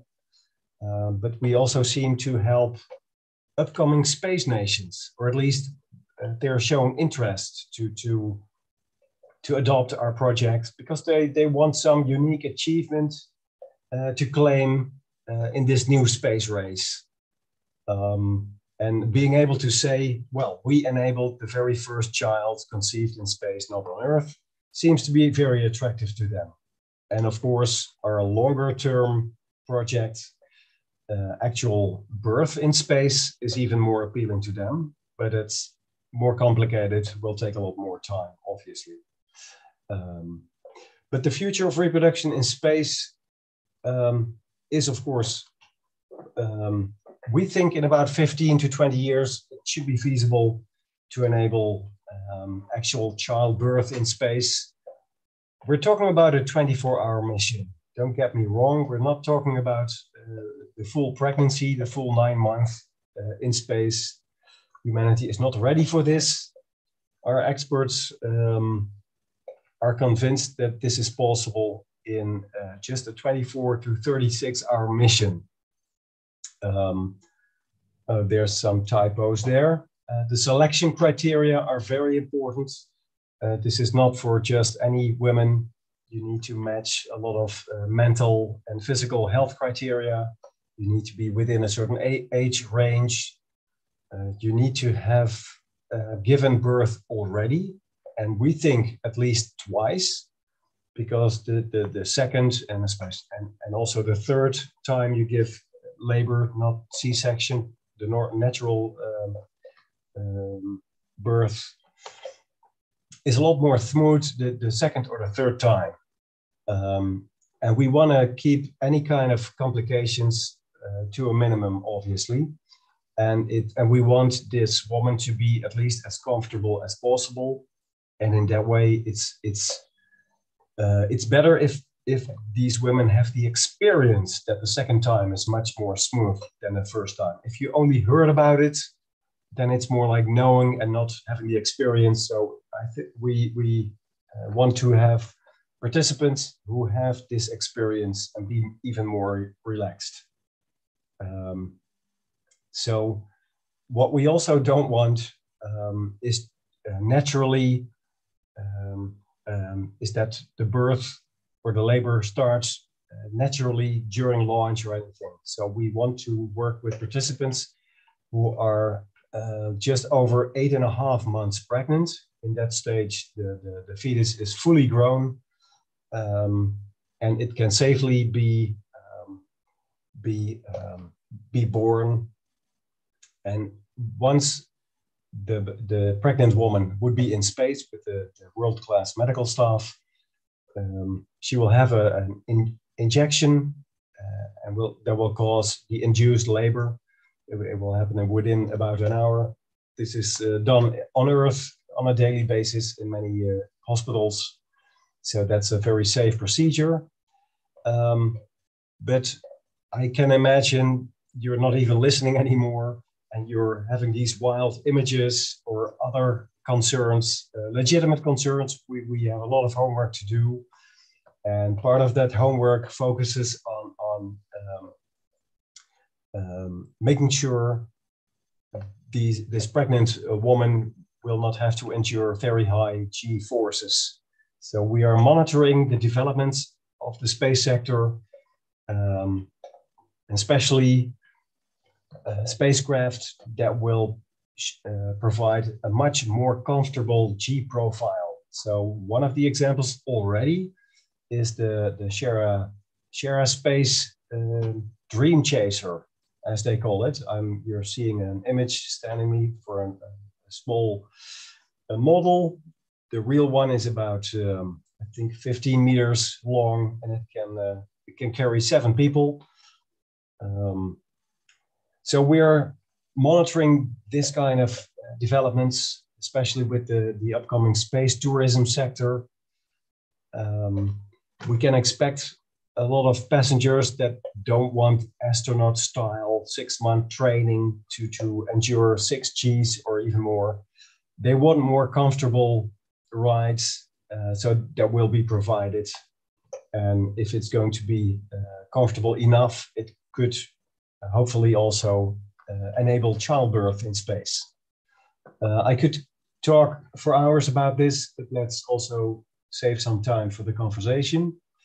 Uh, some other future aspects that we're interested in, we are uh, following the development of um, the artificial womb.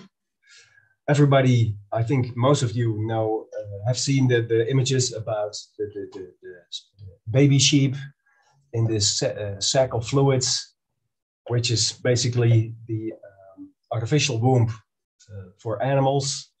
And Professor uh, from the Netherlands uh, received a couple of million uh, euros is a grant to, um, to change this animal version into a human version. And he's working on it now and with his team, obviously.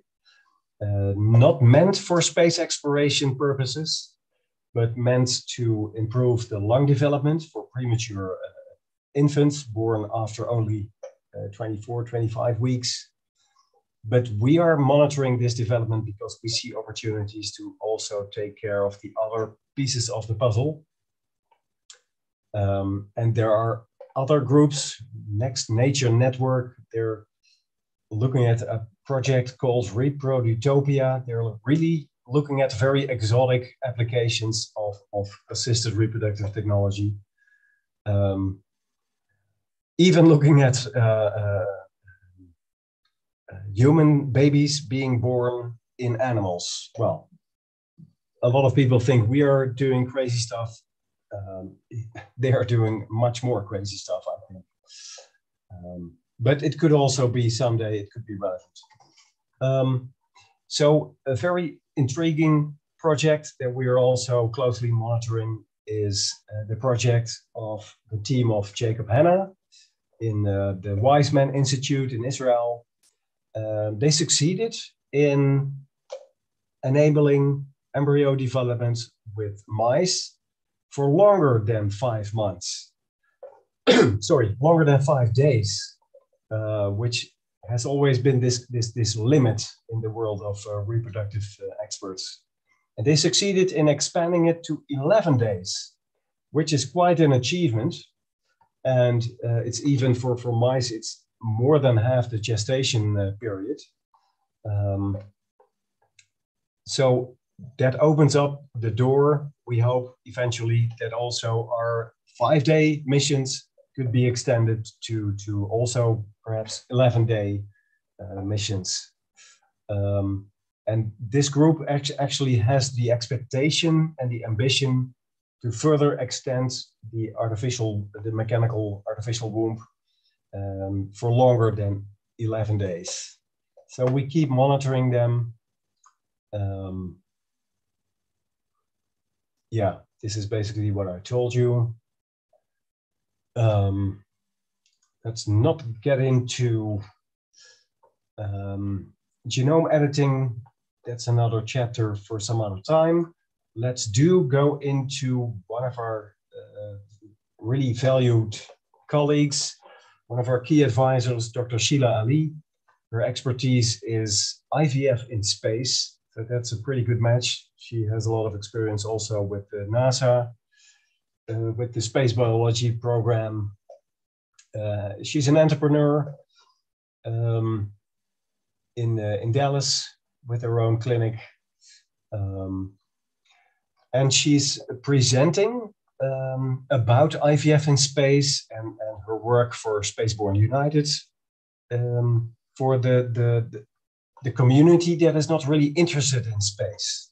So um, experts from IVF clinics um, interested in reproductive biology, experts in that field themselves, are still being really interested in her story that she's telling. Uh, and there's one key reason for it. Innovating and, and, and researching IVF in space apparently also has several benefits for the IVF sector on Earth. And this is obviously also helpful for our business case uh, because it's not, uh, because it's, well, it's not very uh, cheap what we're doing. Um, Sheila was presenting uh, last month um, in Chicago, and in May she has been presenting about it in, uh, in Austin. Um, I think we should talk about the Astrosexological Research Institute some other time. So maybe let's go to the conversation and close with my favorite uh, slogan that cre- creating a spacefaring civilization is like expanding the human comfort zone. And I love the quote from Carl Sagan our space exploration plans are best described I forgot how to pronounce this again. Dandelion, correct me again, Michael. What was it? Dandelion, we got it. Spreading the seeds of life into space. Yeah. Thank you very much. And let's uh, see if there's uh, questions. Well, tons of questions, tons of questions. Um, always, Dr. Edelbroek, it's it's terrific having you here. Um, I'm gonna I'm going to have a little bit of preamble here. Um, uh, we know this is a controversial topic. We're aware of it. We respect it. We're going to talk about that in a moment. Um, uh, I want to I want to make sure that uh, you know I, I said something earlier uh, when we started the program that uh, you know the Mars Society is a terrific uh, ally to our our event series to a better futures. Um, yesterday they had their um, you know the almost the entire focus yesterday was on their uh, mars desert research station their analogs. Um, you know but uh, uh, you know there's a there's a big step between running around in Utah, running around in Australia or Mongolia, and having an analog test site for what it might be to explore and do some science on Mars versus what you're proposing you know have babies in orbit and then potentially learn what we need to learn in order to have them on the moon and, and mars. And so there's this you know there's a long ways between here and there. And uh, i want to be very clear that while they were re- very supportive of um, our program yesterday uh, you know we're not talking about the mars society right here. We're talking about new content new ideas new um, new programming because uh, we've been doing this with you for gosh six months now maybe more than that. I've known you for a year and a half. Um, and you, you've you've brought some I think fascinating ideas, and and I've said this on several occasions that I think that um, the work that you're doing, that that your team is doing, uh, it's unique in the world. It's kind of the holy grail in space. That um, despite 20 years of being on the International Space Station, no one's even coming close to this sort of research. No one's you know it's politically impossible to do this sort of research right now uh, as a as a governmental organization even if it's what 14 partner nations on the iss the idea of having um, babies on the moon and babies on mars it's uh, on the one hand it seems really far-fetched. It really feels like straight up science fiction but even science fiction didn't cover this, right? So you are treading in utterly new, un, uh, uncharted territory. right? So, so let's take a look at some of the stuff that you're doing, break it down into the parts, acknowledge, um, acknowledge the concerns, and then let's start figuring out, out like you know the ways that you're dealing with with this stuff. So um, uh, let's talk about your team first. Then we're going to talk about uh, you know some of the hardware because hardware beats PowerPoint.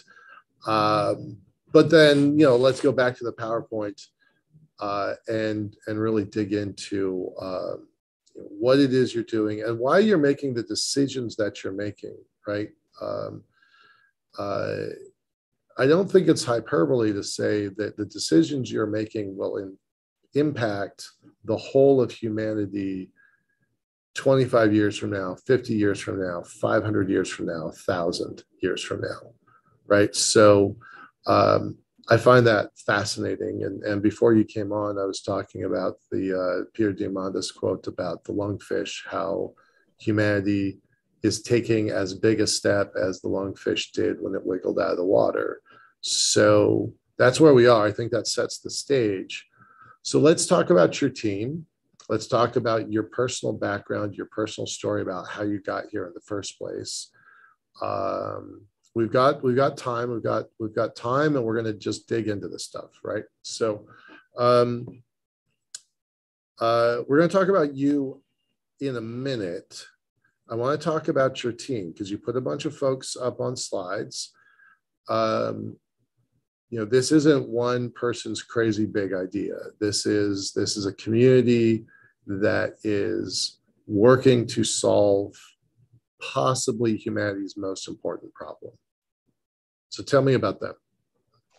Yeah um, so it, it, it started um, uh, eight years ago when i started wondering well as an entrepreneur uh, you you at least i i do I have uh, at least uh, three crazy ideas a week. so let's say uh, uh, 10 per month, and nine of them, they don't even survive the end of the month because it was a stupid idea or it, it doesn't work or it already exists or uh, it's not, well, um, etc. And so some of those ideas, they, they survive and they get some enthusiasm and sometimes, well, this is not my cup of tea, not my focus. Um, but for some reason this triggered a lot of um, a lot of interest and a lot of um, yeah let, let's summarize it with a lot of interest. And, and the more people i spoke the, the more i expected okay this will be the time when i have this red light like okay it already exists. Some other group is, has, has addressed it but that didn't happen. And i so that motivated me to to continue to, to, to explore this question like, okay, why is this not, not, not addressed? Could this IVF approach actually uh, add value? So the, the, the, conversation started with, with uh, a lot of convers- uh, talking to the IVF, uh, the director of the IVF clinic, who's a very experienced gynecologist himself. And he said, well, I'm about to retire. I have more time I, I want. I, I think this is really interesting, and I, I see a lot of reasons why this would be relevant besides what you already suggested. And I have a few friends, they're ethical experts because, of course, this has big ethical implications. So, um, is it okay if I involve them? And it, it started growing in, in that way that other types of experts wanted to be involved. Uh, they they uh, added new reasons why it would be relevant also for for uh, obstetrics, uh, gynecology, and IVF on Earth, but mainly for the, the, the, backup plan for humanity, of course, making humanity a multiplanetary species. So um, soon I, I learned that, it, that there are these four key uh, um, domains of expertise that were going to be involved. So obviously uh, space technological expertise, uh, we would need to understand the space environment and, and how these rockets work and payloads and, and orbits and everything. Um, obviously, um, biomedical experts understanding IVF technology and related technology.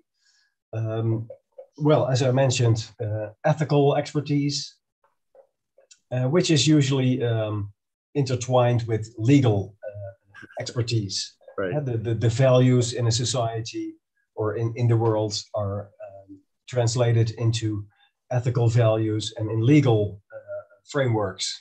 So we, we I, when, when I uh, understood, okay, this is something big and it, it, it there's an opportunity to, to, uh, to really seriously explore options to add value here. Um, those were the four areas where the team needed expertise and it kept growing and growing. And of course, it, there needs to be um, a business case. So you also start adding business experts and right. strategy experts, and you need to organize things. Your Numenia process, you've been guiding us as well to to to make sure we we um, we organize in a in a in a more um, modern and smart uh, approach, etc. So that that's how the team uh, kept growing, and I I, I didn't have the uh, I, I I couldn't dream of of uh, attracting people like Sheila Ali or or uh, Dr. Layendecker, or I can mention a lot of others. Um, so that's that's how the team started growing, and, and when we are when we felt okay, we are mature enough to show to show each um, our project to the world to the media. We did a press release, and we were there was a lot of media coverage in like 60 countries. It was crazy, crazy, crazy and. And, but it, it, it also helped in in attracting people that that we um, wouldn't have the guts to approach, but they they approach us like like Alexander Layendecker, like okay, this is you are doing my dream. Can I join? yeah. Uh, yes, please. Yeah. Yes, please. Right. Um, so that's that's in a nutshell uh, how that how that developed. You know, you know, I said a minute ago we've known each other for about a year, year and a half or so, and I'm continually struck by uh, the similarities between what you're trying to do in your company and what I'm trying to do in my company. That we have brilliant, brilliant people that are, you know, in our orbits around what we're trying to do. Um, we're both small companies trying to do something uh, monumentally large. And and it's that that team that surrounds us that even makes us credible right? If you were by yourself you'd just be some crazy guy in the netherlands that's uh, you know you know uh, one step away from the uh, you know being hospitalized right? So um, I, am I'm, I'm the same way right? I'm just i'm just one crazy guy and and that, that, that's an important point. I mean i okay i have some cr- creative thoughts sometimes. I, I can network i can connect people to each other find the experts get them around the table but i never expected to to stay in the role that i that i still have. Right. There was there was only because so many people kept saying Egberts you should have this role. You're doing fine. That's what you did in your PhD. You connected seemingly different uh, domains of expertise to each other. You can overlook those different things and connect them. And, and I had to learn that this is apparently a skill that is useful in this position. And it is. I thought, like, okay, I'm gonna. I had a good idea. I found some experts, and then the the real space companies, biotech stuff, they, they will they will run the show. But uh, well, I accepted my faith. and, well, uh, that's that's for the good of all. It's it's for the good of all of us. Um, I've known for a long time that I was going to have to step down. Um, that might be happening maybe in a year or two as we bring in other people that are more qualified. So, yeah, it's really good to kind of know where you're at. Uh, you know, I mentioned state of the art, like in the in the case of news, but you kind of always have to be have your pulse on uh, your finger on the pulse of where you are also. So you've got this team. Um, uh, you know, they're not. They all have day jobs. They all have other things. This is still, for the most, most part, uh, most for the most part, um, this is they this is a helpful hobby for them. That's the way it is for for me and my team. I've got my core, but then I've got my um, experts.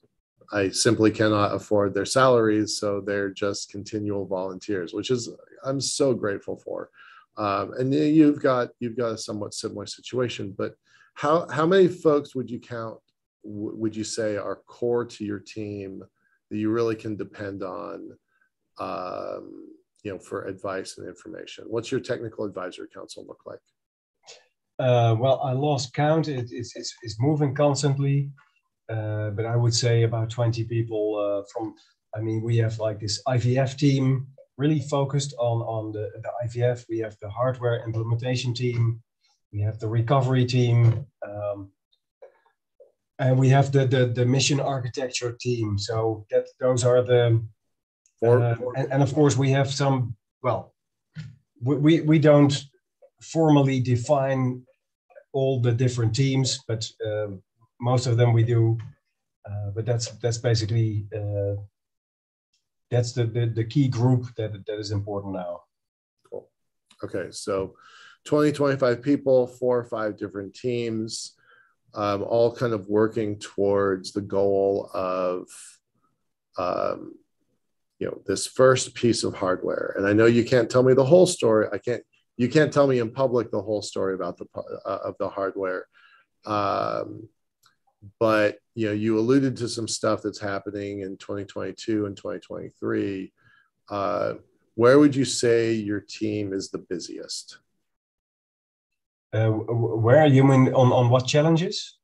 The, the, the problems that they're working on. What yeah, what, yeah. the, what what uh, not not where because I know you're you're like me. You're a digital organization that's spread all over the world. You're in the Netherlands.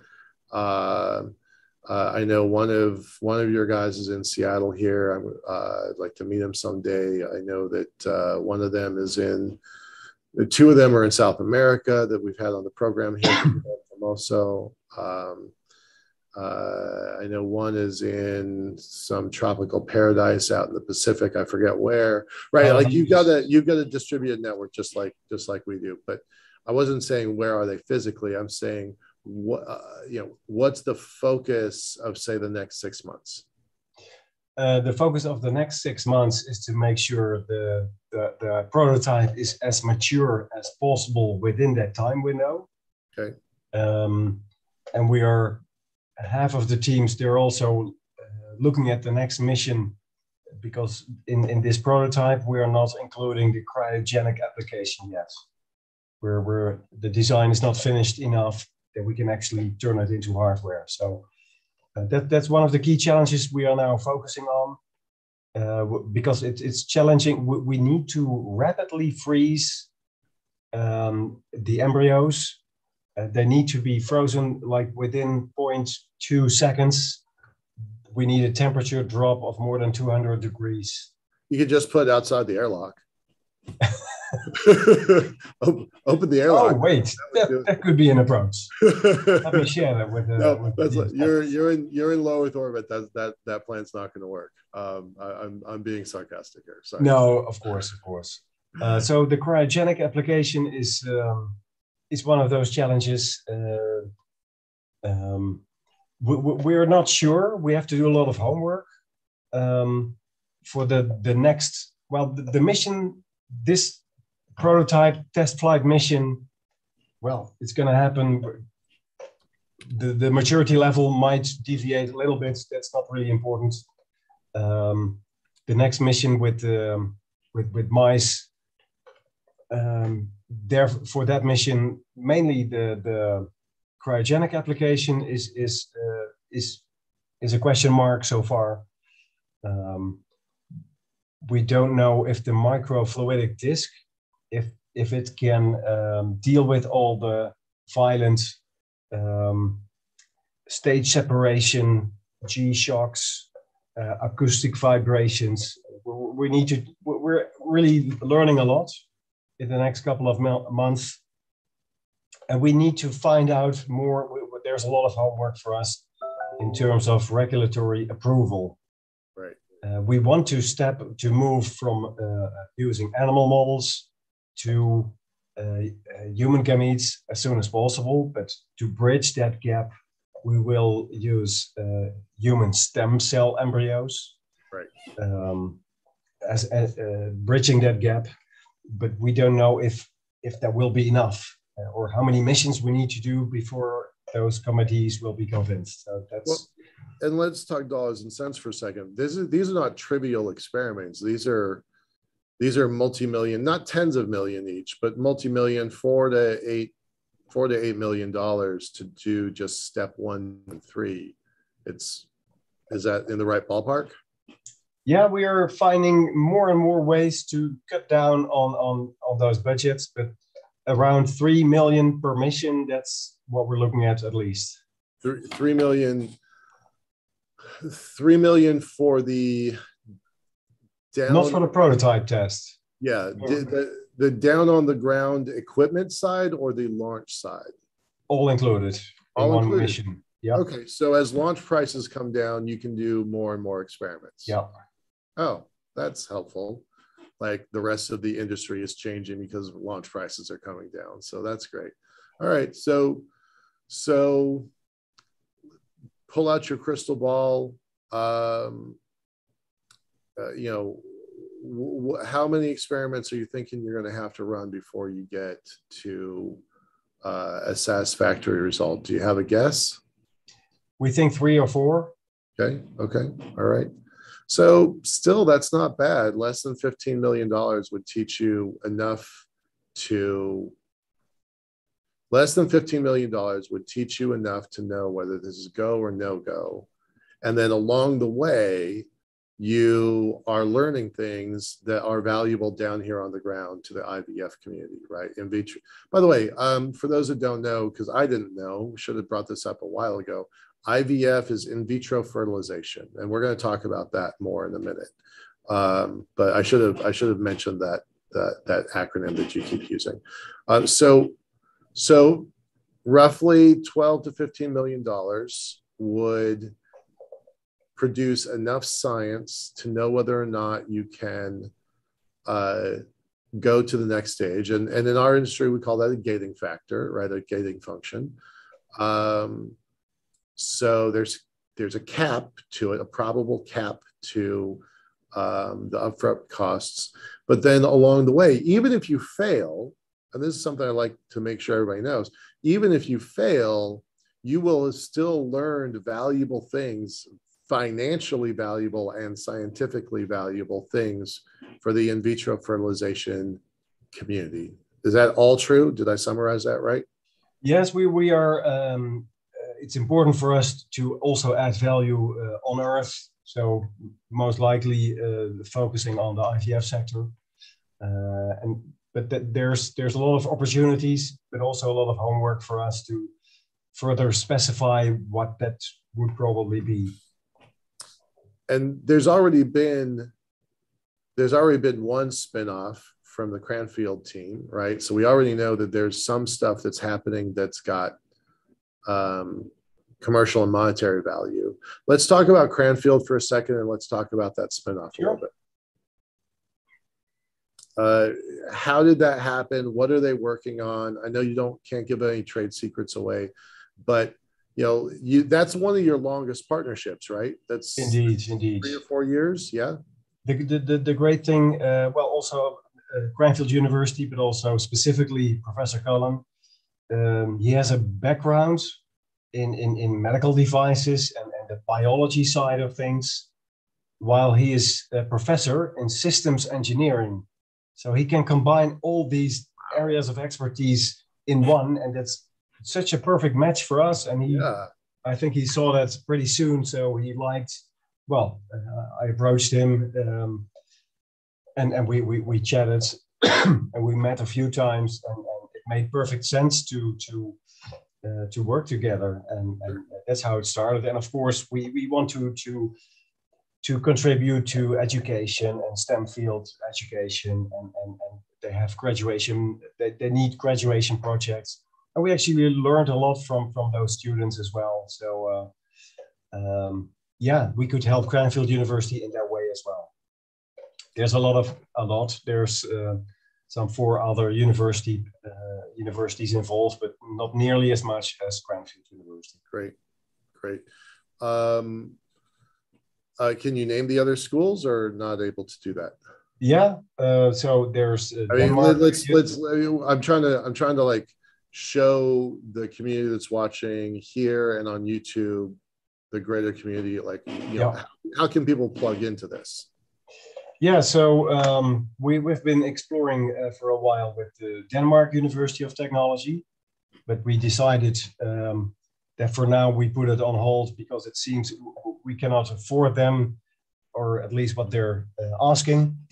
Uh, but but they're they're experts in microfluidics. They're really excited about what we do, so they want to stay in touch, and, and so we we uh, keep the lines open.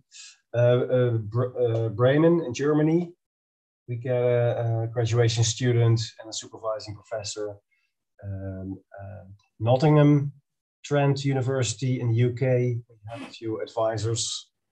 Um, there's a new project in uh, the Netherlands with the Technical University of Eindhoven.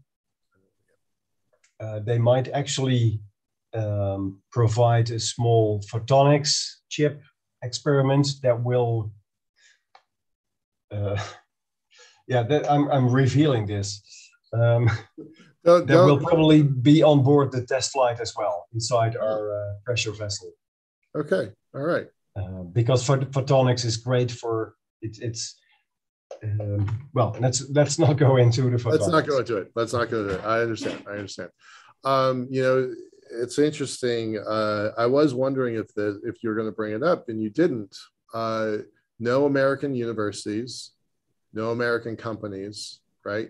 Right. Oh now. yes, American companies. Let me companies. check. What Paragon? Is Paragon, really... of course, Paragon. Sorry, I totally missed that. Yeah, yeah, yeah, yeah. And um, uh, Rhodium Scientific. Yeah. Sorry, um, Orbital Transport, SpaceWorks. Um, yeah. No, sorry, I, I, I, I, I misled you with what I was trying to say. I said that wrong. There's plenty of American companies. What I was trying to say was um, no, no universities, universities, because you know some of the what you're doing is is kind of a political hot button these days, right? So um, uh, you know, there's organizations like TRIS, TRISH down in um, wow, what does TRISH stand for? Down in um, uh, Houston area. Uh, there are great biospace labs all over the US. Uh, there's STTR programs, there's dozens of universities that could be partners, but yeah, there is three that we that there is some some contact. At John Hopkins University, they they what we work. Uh, they have this very bright uh, young girl, the student. She's very eager to do an internship. It will start in September probably yeah, okay. Uh, does that mean we are collaborating with John Hopkins University? Right. That no, sounds a little bit too. That sounds. So, and, and we're, no. we're, talking to this professor from uh, uh, Texas University, who's who wants to collaborate, and we we are dying to to welcome him. Uh, so there are some lines with universities. Okay, that's good. That's good. And that will probably grow anyway. Right. Uh, but we are a little bit understaffed, so we cannot manage all the. We, we want to have good relationships, and we need we need to manage them, and and uh, so we are not. Yeah, our network and expertise network is is uh, that's not our concern. We, we we're make we what we need to um, well funding is still a challenge we are in discussion with a large ngo a wealthy ngo uh, that might be the big game changer from a funding perspective. And if not, there will be plenty of others, especially after uh, the test flight by the end of this year. Yeah. But uh, co- contacts with experts and universities, that's not a challenge. Awesome. Awesome. Um, let's uh, let's switch gears for a bit um, and kind of talk about kind of your personal origin story. Um, you know, you got into this, you're not a space guy, you got into it by accident, and then realized some of its potential. So, so walk us through kind of how that how that happened, because um, I think that'll give us some insight into into who you are and why you're doing what you're doing.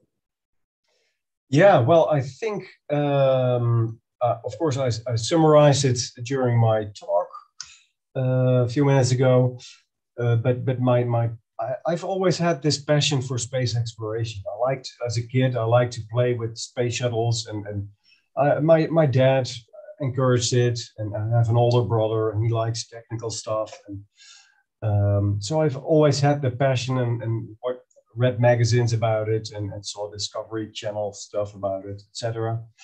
Um, um, and and, and the, the funny thing is, I don't remember the exact uh, situation or moment when I came up with this crazy question like, hey, should an embryo incubator, uh, should, should it be possible to re-engineer it to make it work in space?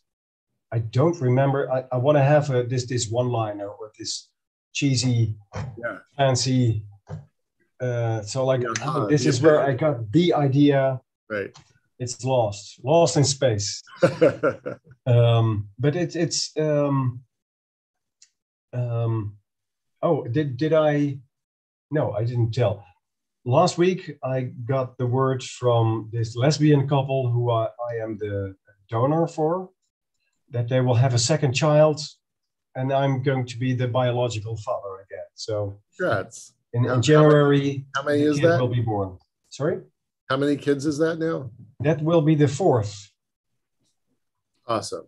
So it's it's I, I enjoy this. Uh, there are some more anonymous kids that I don't know about yet.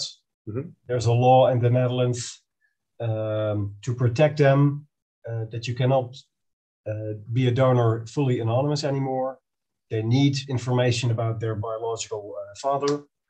Uh, they don't necessarily need to bond with him, but they sure. need basic information and they need the opportunity to to, to have a contact some someday when, they are 12 and, and, when they're 16 they get my name and traceable information. Um, but four of those kids i already met and i see them like every two three months. It, it's I, I feel so blessed. It's it's uh, um, yeah. And, and now there will even be a fourth one. There's three boys now. So i hope there will be a girl this time it's, uh, we'll see. We'll see. Fingers crossed. Fingers and, crossed. And I, I mean, there's the the IVF world.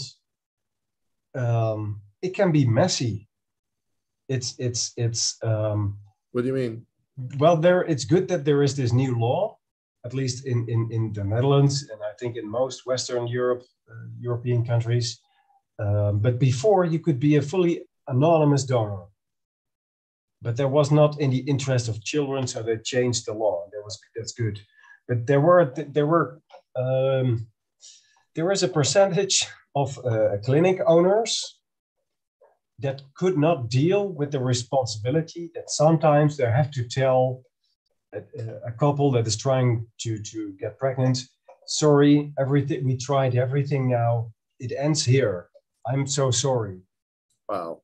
Um, I mean, that happens like a couple of times every week for the clinic owners. Right. But some, they, they, I mean, that's, well, they have crying couples. Could you really, really don't, well, could you really not help us anymore? Yeah, you have to take that. Well, I, I can imagine that has impact. And yeah. yeah. I, can imagine um, there are quite a few cases uh, in, in, in the United States. There's like 45 known cases where the IVF clinic owner decided, well, I do, I, I, oh, I, am going to help these people, but not in a way that is legally and ethically very sound, but I can't take this anymore. All these crying couples, this, I, I feel so sorry for them. I, I, I will produce my own sperm and say that it's from some kind of donor. Wow so these there are 45 clinic owners there have been 45 clinic owners in the us that made that decision and not just once but usually tens of times wow and in the netherlands there are a couple as well yeah So that's that's uh, that's that's a messy part of the IVF world. The industry. Wow, that's yeah, that's pretty interesting. So how did this happen where you had this um you know this has been you've been doing this for years right?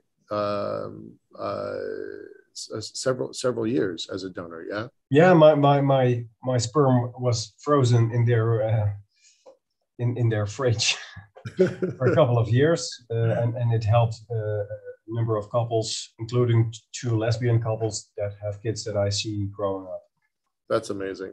So how did it go from and I know you know I know you don't know like where that epiphany that that aha moment happened but when did you decide you know spaceborne united needed to exist uh, that that this was that this was your personal uh, we talked earlier about vision mission values right so how did this become your thing to do in the world i don't i i, I don't yeah, there, the links there yeah, there, there is another link that I didn't uh, clarify. Um, I, I, did briefly mention that my PhD is in courage development. Right. I, I, I love innovation and I love exploring boundaries and helping other people or inspiring other people to do so to expand their comfort zones. Um, and, and, and I have, um, uh, so I have the Courage Company in Dutch, that is the Lef Academy. But let's let's say Courage Company, where where I help uh, people and organizations uh, develop courage in their organization and with their professionals. and um, people like this, and and and and they encouraged me, and they. Uh, and I, I feel it's very important to stay credible and to practice what you preach. So I continue to work on my own different versions of courage as well. And I got feedback from people, and, and some of them they said, Well, Egbert, it's a great topic. They need it. Um, it's good that you have this practice what you preach um, approach. Um, and to be honest, Egbert, your business courage, hmm, hmm, it's not that big yet. what do you think? And that's there wasn't one person that said this. So I heard it a few, a couple of times, and I felt, hmm, hmm, they're right, and and and I want to to to increase my business courage as well, uh, and I could help other people with that. So um, I decided to be more open to specific opportunities to work on my business courage. Okay. And that was pretty. That was in that period. So Otherwise, I would have had this crazy idea and let it go really quickly because it seemed so far out of my comfort zone and out of my, uh, well, out of my field of expertise uh, for sure. Uh, but this definitely uh, made a difference in, in, no, let's stick to this challenging topic for a while. This is, a, this is an interesting opportunity to see if it could also help expand my business courage. And well, I feel completely satisfied. Surprise, it worked. yeah. All right, all right. I've had some sleepless. This is not my actual natural hair color. This is there's some uh, uh, shampoo uh, with the coloring. Yeah, that's that's that's that's coming. That's coming. Maybe I shouldn't do that and show more seniority. all right. Um, we've got a we got a couple interesting comments from the from the audience here. Um, uh, I'll preface it with a, a tiny bit of intro. Um, uh, Elaine Walker has been in the space community for well, the 20 years I've been here. She's been around. Um, uh, she was a she was a participant in in several of the Mars Society um, analog sites. I think Flash Flashline up in um, up in Devon Island is is what I know most about her. she just posted to me. She's been doing this for night since 1994, so that's pretty remarkable. Um, uh, and so and she's uh, uh, got a really great like music background. She's a professor. Um, all right, so I'm going to read off her uh, her question. She has actually has two, and they're long, so we'll go into them piece at a time. Uh, thanks, Elena. Appreciate that. Um, assuming centripetal force is the same as normal gravity, how much do we know so far about the difference between spinning gravity in space versus spinning gravity within an existing gravity well, such as the Earth, Moon, and Mars? Uh, where then uh, we'd have the force going in a different direction. All right, so I'm going to answer part of this. Um, and uh, I know your background is not in biology, Egbert. So, like, let's let's preface that. Um, the United States, uh, Australia, and um, the UK, Oxford, Oxford, University of Washington, and Adelaide University, about 20 years ago, had this great, great, great proposal to send a bunch of mice First, it was going to be to the ISS. And then it was going to be okay, we'll have a separate spinning satellite because the political liability of ISS is, is impossible. We cannot do it. Uh, so then, then they changed their plan and said, okay, we're going to do it as a separate spinning satellite so it doesn't interfere with the politics of the ISS. And it started out they were going to send up, you know, 16 pairs of boys and girls rats and then then they couldn't they didn't feel like there were they felt like there were too many um, variables so they switched it out and they said okay we're going to have eight pregnant rats. And little by little by little by little by little this experiment got cut and cut and cut and cut until it no longer exists and all three partners uh, bailed on the project so that's what we know about the difference between spinning gravity in space is we don't know anything about spinning gravity in space. Uh, and I like the way that you put quotation marks about around spinning gravity. So then uh, I'm going to let Egbert answer. I'm pretty sure I know. Egbert, what's the difference between spinning gravity in space eh, versus spinning gravity within a, a gravity well? I'm I'm very eager to learn every day uh, because I, I don't know the answer to this and, and I want to be able to uh, be a discussion partner with uh, our uh, experts on this, uh, Dr. Jacques van Loon. He's working for ESA um, usually and he's running this um, centrifuge.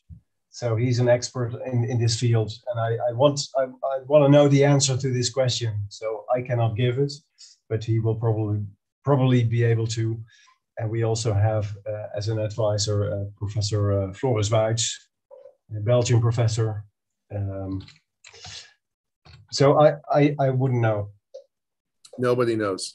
Uh, no, nobody really knows. Um, because we can't we haven't run those experiments it kills me that that's been a, i'm going to just editorialize for a second it kills me that that's been a staple of science fiction uh, for 50 or 60 or 70 years, the assumption that we can use centrifugal force to simulate gravity and then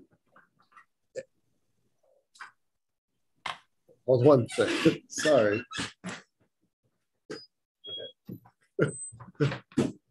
Sorry about that. Um, i had the door locked by accident um, so we don't know the answer to that, um, and it's frustrating that we should and and we don't. Um, I'm quite irritated by that problem. There is there is a company, and this is not an endorsement or plug. This is just information.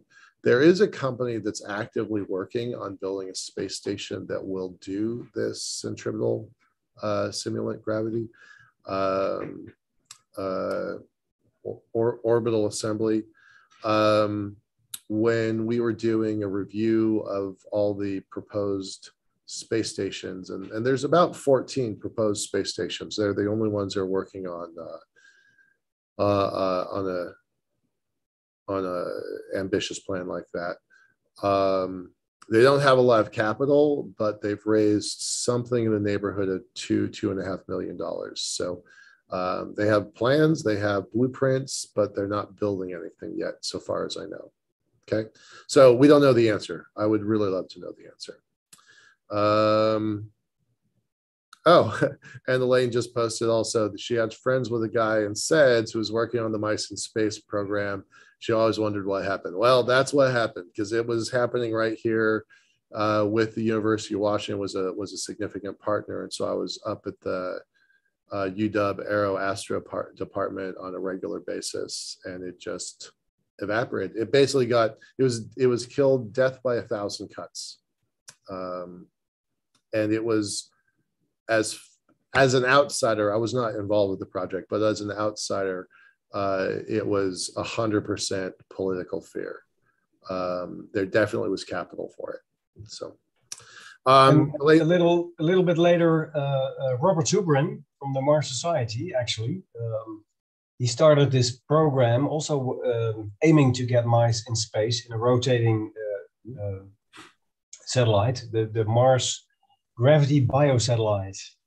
There was like uh, dozens of universities and hundreds of students working on this challenge uh, but NASA uh, eventually canceled it. So that's a, that that could have provided so much data on partial gravity, um, but they didn't.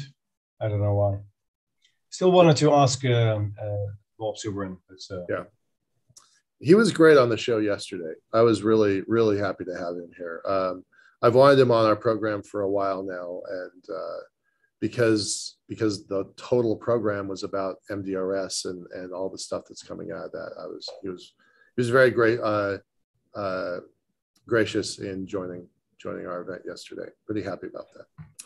I hope to have him back. All right. So then, speaking of Zubrin, um, Elaine's second question: When I was asked by Bob Zubrin about what this is yesterday, this happened yesterday when she, when when he was on screen and she was uh, in the audience.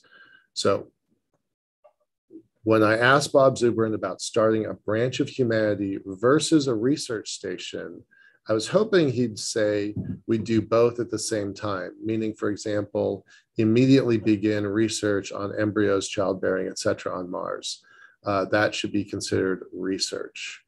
Um, she goes on to say, I assume once we are on Mars with a functioning station, Research other than geology, traversing, etc., will include survival skills, food production, and I hope it will include, will involve embryo research or maybe even babies.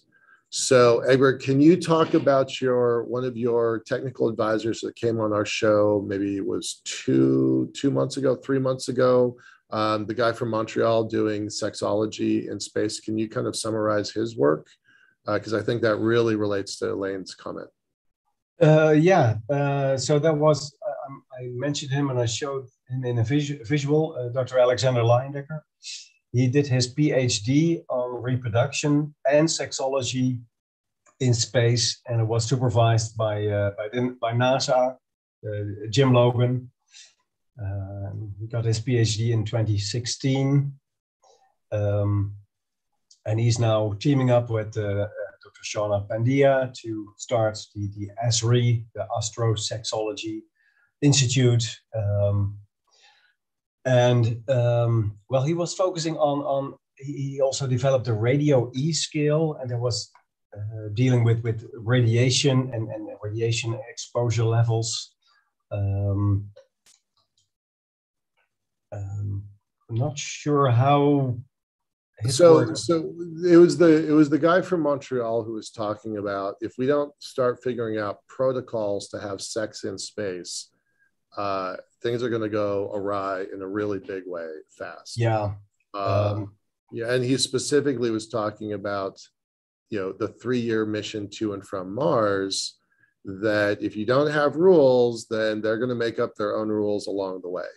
And so it was yes it was about sex, but it was also about babies. Um, and and so I, I um, so Elaine, if you want to check that, that was Egbert, was that three months? No, that wasn't. It, that's why I was confused. It was not. There was another event. Um, Alexander is still to present on this show. There was uh, Dr. Rafael uh, Marquez. Okay. or not? No, no he's from Brazil. It was it was here. Um, uh, um, Elaine, check out our our channel from about two or three months ago on this on the Saturday show, day two, about three months ago. Um, there was a pretty long conversation about that. Um, but yeah, so so what Zubrin said yesterday was uh, uh, exploration first, science next, and then and then community. And he came, he gave a really interesting uh, history lesson about how um, the French and British to the United States. Um, the French didn't bring their women, the British did, and the rest is history because they, the British had babies and kids here and built community, and the French didn't, and uh, that's that's kind of how you know um, that, that's kind of how that that turned out. So he was definitely focused on building community. Um, uh, but I'm I'm with you, Elaine. I I think uh, I think I think there's a lot of different ways of defining research, and it goes beyond you know what's what are the rocks what do the rocks look like. So um, yeah, pretty interesting stuff. All right, so we got about a half an hour left to work on this. So um, let's again bring out your crystal ball and imagine the future. Okay, so we figured out IVF. We figured out um, uh, fertilization at LEO. We know how to do that, and and sometime in the next few years, we're going to have the first baby born on orbit, right? And it's only going to be you know up 24 hours or less, back down. It's it's a stunt. It's a stunt, but it's a super important proof of concept stunt, right? That we can actually do this. So, all right, so let's just say those three steps have happened. Can you first kind of give me some time frames for those three steps? Um, uh, first, the the embryo embryo step. The first human uh, baby conceived in space. Yeah. 2026. Wow. 2026. I think that should be like on CNN. That should be international news, right? Like I it, will, it will be. But just the prediction, just the prediction. I mean, waking people up. All right, so 2026 for the first consent. And, and I mean, then there is the baby. That means that that the the uh, regular that the regulatory institutions accept the safety of the embryo to be um, to that quality that it can be placed back in the womb to turn right. into a baby. Right. Because the step just before that, uh, the first human embryo conceived in space, that can happen uh, 18 months before. And that's that might, I don't know, that, that's going to be big news, especially in the space sector and in the medical sector. That's only 2024. Not for that's not far away. True. Yeah. That's what All we right. aim for. And if it's going to be a year later, Fine. so be it. We, we're, we're aiming high.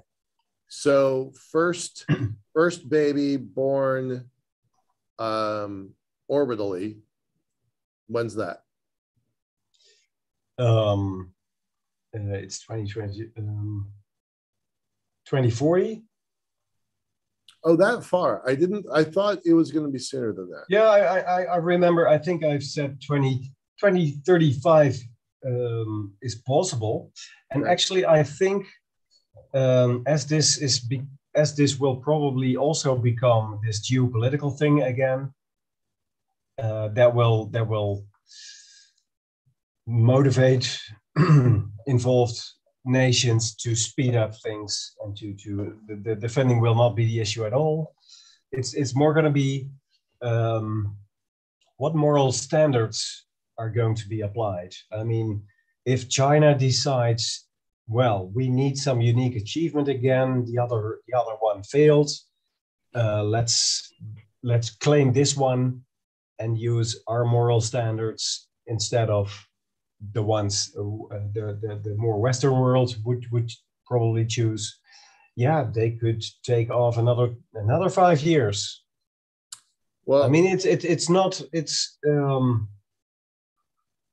it's ethically um, uh, a thousand times uh, bigger and more complex than than uh, embryo development in space.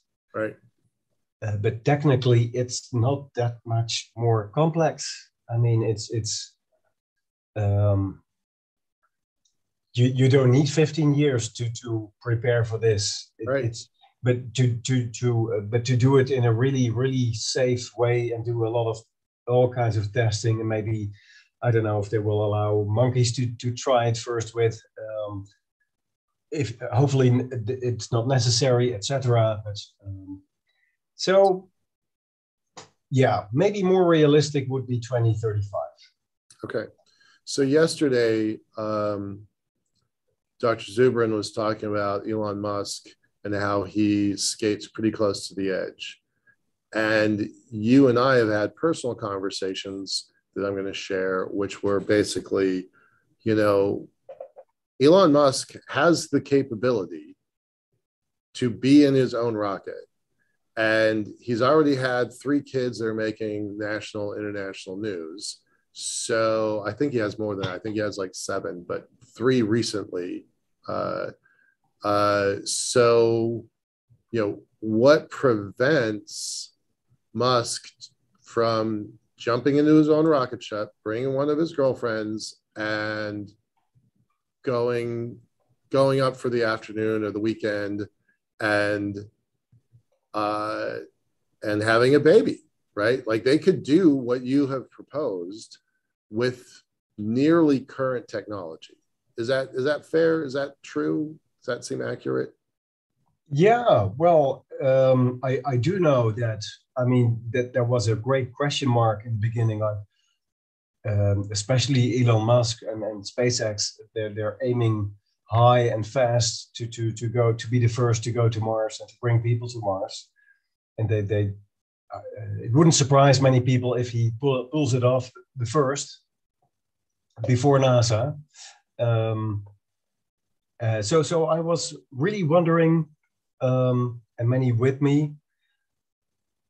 It, how is it possible that SpaceX is investing all those resources, all those billions in preparing plans for Mars, if the reproduction question is not addressed to that extent? So they must know, or, or the, the, the, the answers that I that I get from people that know him personally, and that know the, the strategy of, of, of SpaceX, they are focusing on being an engineering company. And that's what they do good. Mm-hmm. And yes, there are these other uh, challenges to address, but they want others to address them. And, and uh, SpaceX has become so big and also depending on shareholders and, and, and um, they're a little bit too big to deal with these experimental ethically delicate topics so it, it, it would it could compromise their their complete uh, structure and, and, and PR. So they're already doing amazing things, and um, so they want to keep doing good things uh, and stay stay to stick to engineering. So, but if, if he wants to change to change and, and, and add a branch of, of life science, space life science, well, he can uh, we we know that Blue Origin has shifted gears to have putting a branch of life science into their orbital reef. Like that's already, you know, the gauntlet's been thrown on that one. So um, uh, Richard. Branson uh, yeah. has actually flirted with the idea when his one of his daughters uh, was was pregnant uh, that well why shouldn't she give labor in space and we've also been approached by representatives to talk with them about adoption of our project. So I think wow. they're more interested um, than than SpaceX. Um, interesting. That's a that's an interesting little tidbit. Um, yeah, you know, I don't. Uh, I haven't considered like I've considered this from Musk. I've considered it from Bezos. I had not considered it from Branson's Virgin Group. So that's, uh, huh, I'll think about that. I'll think about that. Um, uh, Elaine asks another question. Um, uh, is it too late or is it not recommended to freeze eggs at 54? Um, uh, I know oh, you. I was thinking 54, uh, 54 Kelvin, but we're talking about age. Hey, her, yes, she and and you know she has successfully had at least one kid. Um, I think only one. Pretty sure only one.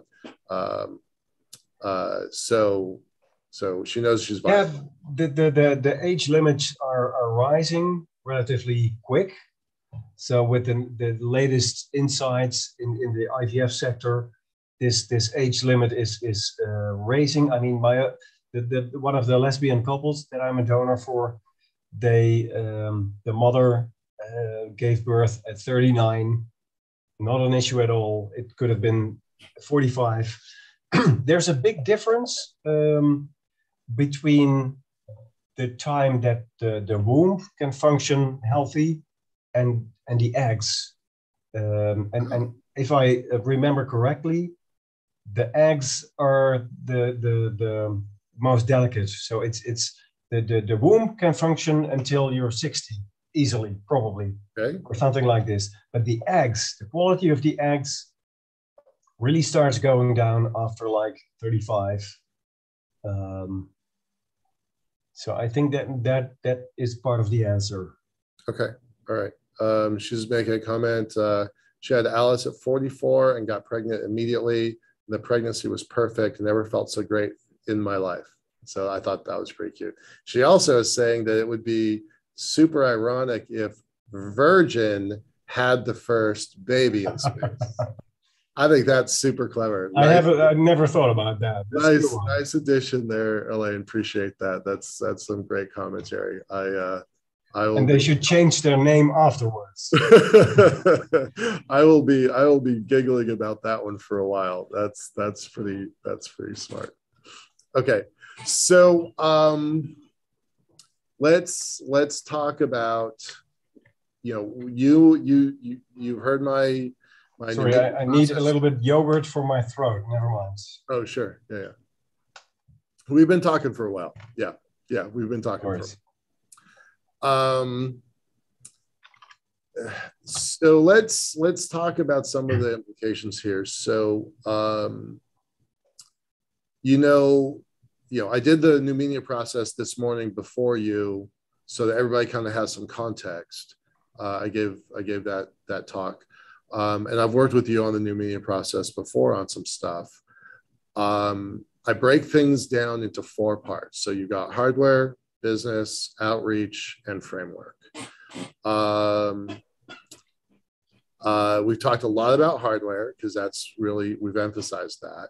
Um, we've talked a bit about the finances, right? 12 to 15 million dollars to get the answers that you need, and that there's value in getting those answers that justifies the risk. All right. Um, we haven't talked about framework or outreach very much. So I want to kind of spend some time on that. Um, but we just got a, a comment from the from the audience. I don't know who it's from. It's anonymous, but it says, uh, "How would citizenship work for babies who are born in space?" And holy cow, person, I do not have an answer to that. And I don't think Egbert does either. What do you got, Egbert? Yeah, uh, yeah, beautiful question, uh, logical question. Yeah. Um, we have we, we have asked uh, space law experts about this uh, because we got this question earlier. Mm-hmm. Um, and the, the funny thing is, there is no um, uh, precedent, uh, legal precedent about this. So it's not decided yet. There are uh, laws that define how that works. If, if in case someone got uh, give, gives birth on a plane, of course, you, uh, usually uh, highly pregnant people are recommended not to join or not allowed. But that's not for reasons of. Uh, that's actually for. That's not so much for safety reasons. That's for paperwork.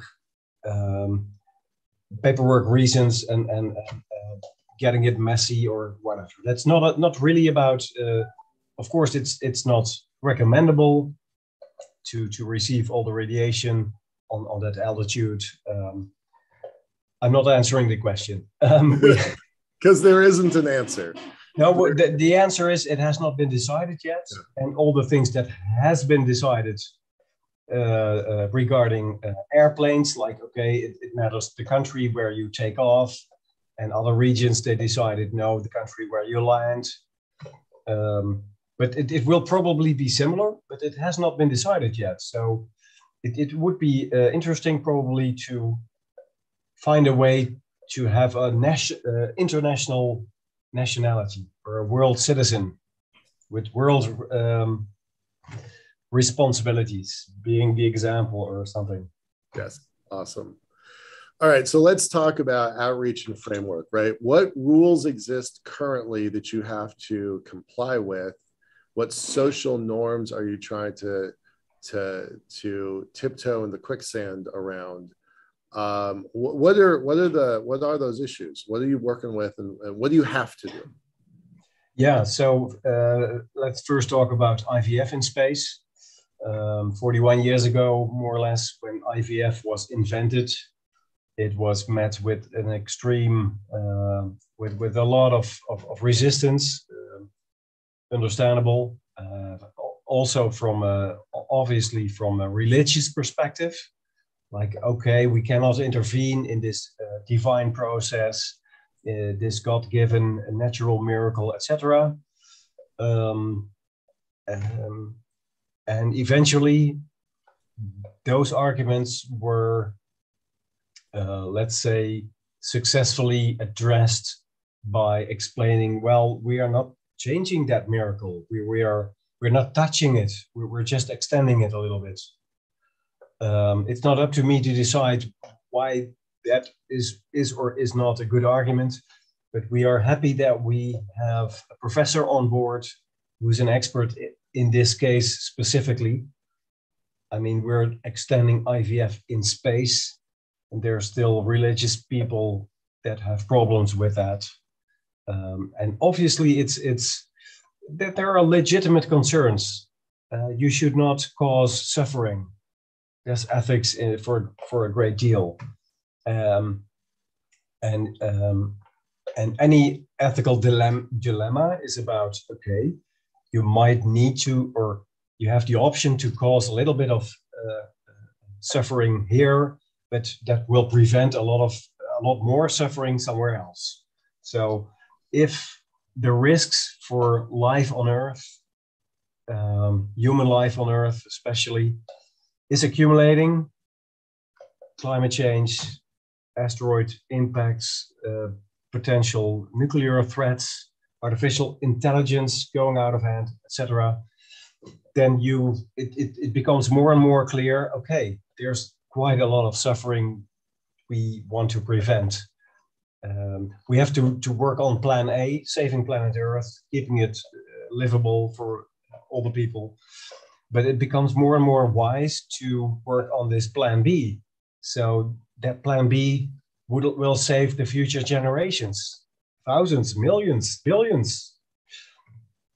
Becoming a planet, multiplanetary species, yeah, wow. Um, can we expose a few dozen embryos to um, to the dangers of space radiation uh, that's not up to me to answer that question. I fully understand and appreciate the concerns about it, but that's the kind of concerns that we, that's the ethical kind of concerns that we, uh, that we, we, we receive questions about, legitimate questions, and, and, and we, we, we, we are in discussion with ethical committees to, to find acceptable answers.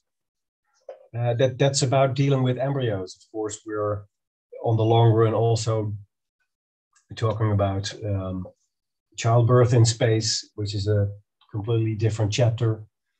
Um, and and that's but it's the same principle. Um, what kind of risk levels um, would be acceptable for what kind of rewards for humanity or uh, for the involved people or companies or us or um, um, and that that's that's a big responsibility and we, we, we need to uh, we're, we're always open to receive new perspectives that we might have forgotten about we want this to be a, a large dialogue and anyone could uh, could could could get involved in it um, it, it's it's so important. It's so important.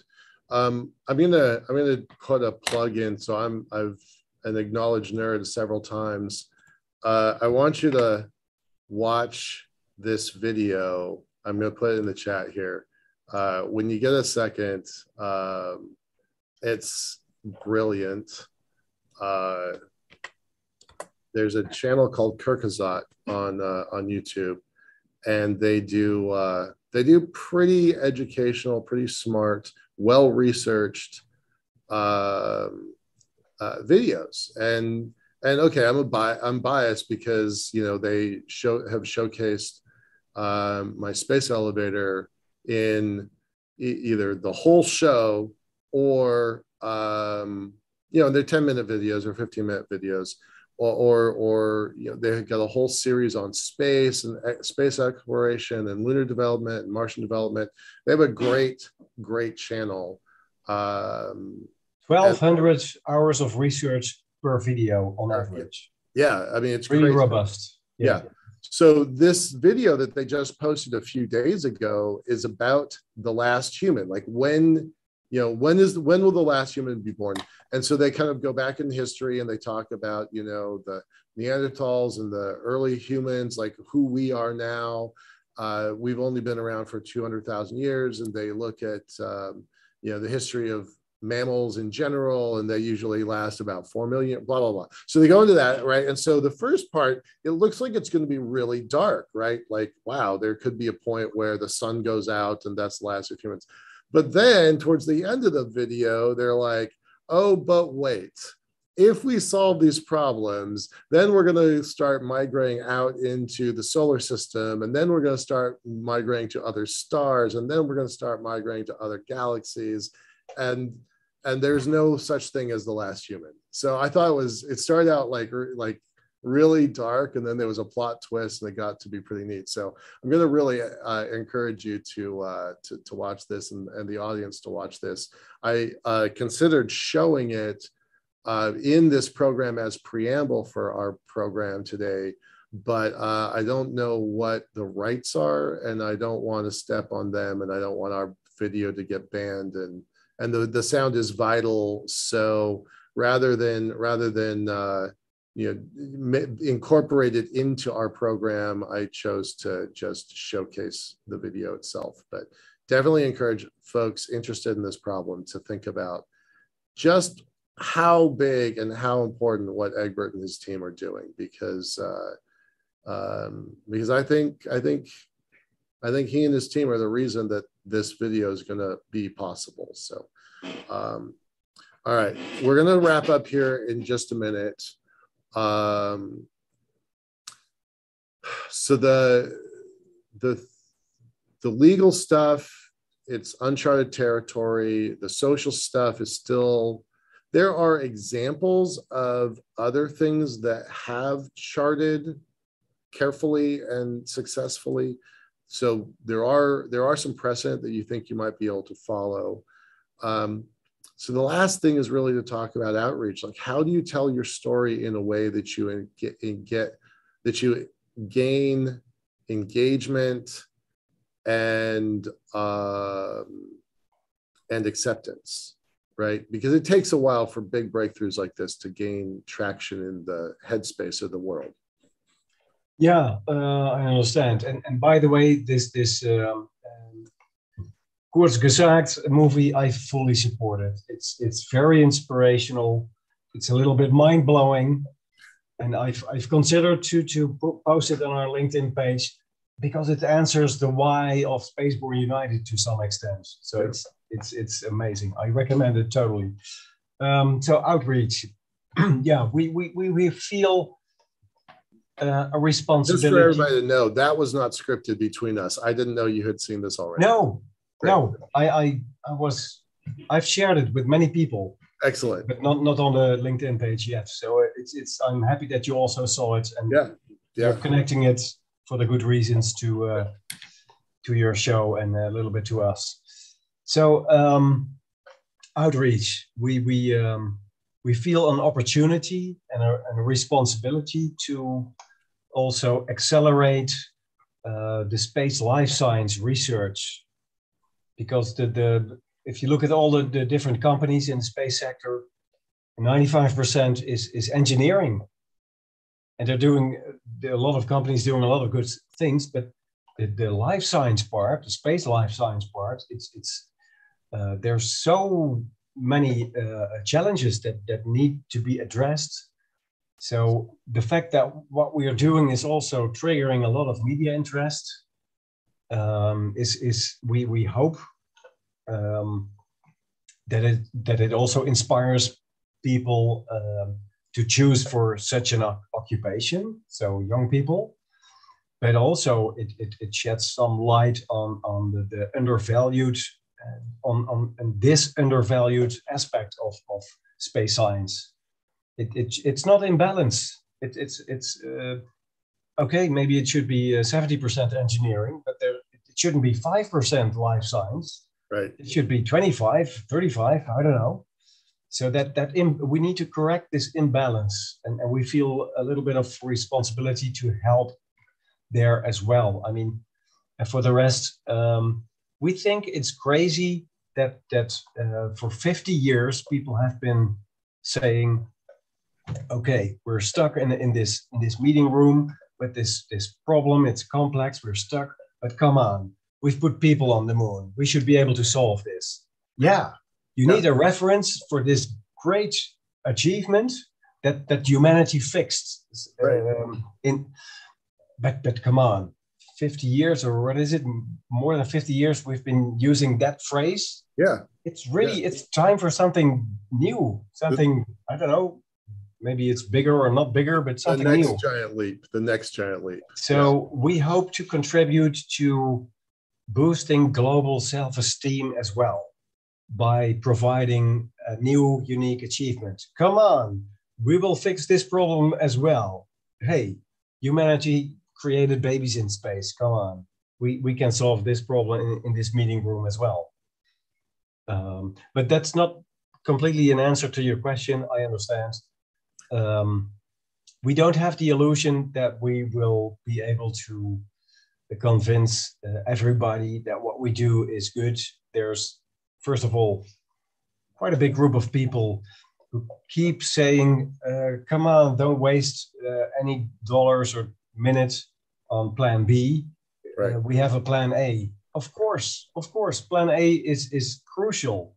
We should focus, I, I say the same what Elon Musk says yes, 99 point something percent needs to be focused on plan A. That's the, the big thing. But come on, it's it's it's too evident. Uh, it's like Professor Kaku used to say, why are there no dinosaurs anymore? Because they didn't have a space program. Right, right. If you want, if you want to go extinct, I mean, extinction is the norm. Ninety-nine point nine percent of all species went in, uh, extinct if we want to continue living and there's so much inspiration and, and enriching the human uh, experience as elon musk likes to say it becoming multiplanetary is a good idea so we need some people to focus on it and we're happy that we are contributing Brilliant. All right, sir. Thank you so much, Dr. Edelbroek. We're going to switch to our next speaker. Thanks for this marathon conversation and the opportunity to go into a really. Time flies when you're having fun. Right. My right. pleasure. Thank you for having me. Thank you. Right on. See ya. Bye. Yeah, that was uh, this conversation. I think is so important, and uh, and it's kind of quiet in the in the larger space community, space advocacy community. So uh, it's just it's just necessary. That's why we just keep coming back to it. Um, but now we're going to switch gears and we're going to bring on uh, I think it's Terry. Let me look at my schedule here. Yep, great, Terry. Uh, we're going to bring on Terry Trevino. Um, Uh, Elaine, by the way, uh, Egbert, if you're still listening, um, Elaine asked a question about uh, where do you get to uh, cryogenic technology? Uh, have you talked to companies like Alcor? She's a cryonics member. So if you wouldn't mind chat, typing that answer in the chat, that would be helpful. Um, where's Sure. your where's your cryonics technology coming from? Okay. Yeah. All right. Thank you. I'm gonna I'm gonna demote you in a moment and bring on Terry. Uh, and by the way, uh, Elaine, really appreciate your uh, your your interactivity here. I appreciate that. Thank you. All right, moving on because this show never stops. All right, uh, Terry Trevino, are you ready, sir? Um.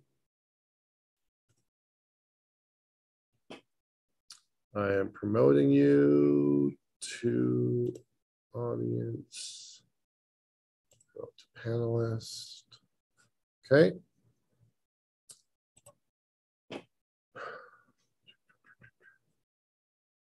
Hey, Terry. How are you? How are you, sir? Fantastic. Great. Uh, give me a second. I'm going to bring up your bio. Egbert, I'm going to demote you. Thanks a lot, sir. Appreciate it. And moving on. Demote sounds like the wrong term. It sounds like you've done something wrong. I'm just, it. yeah. Having been fired and demoted before, yeah. I'm going to remove you from the panelist section. That's what I'm going to Oh, beautiful. All right. Change to attendee. Okay, terrific. All right, Terry. Uh, Terry Trevino has a long and storied real estate career of over 30 years. He also remains passionate about space. He has always remained passionate about space and chasing his desire to become an astrophysicist. Now that that goal is in sight, I thought you finished it. Uh, and saving our world remains the most important vision of our generation. Yes. Um, you know, uh, Dr. Edelbroek just said something similar. Trevino finished his Masters of Space, Masters of Science in Space Studies with a concentration in aerospace science and an emphasis on space operations.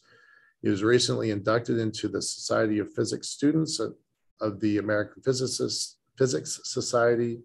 He is the assistant manager at the University Observatory and successfully defended his thesis on exoplanets and escape and eclipsing binary stars properties using ground-based telescopes, searching for the protoplanetary neighborhoods where they live, leading to several. Boring. Sorry, what? So boring. No, it's boring. It's not that boring.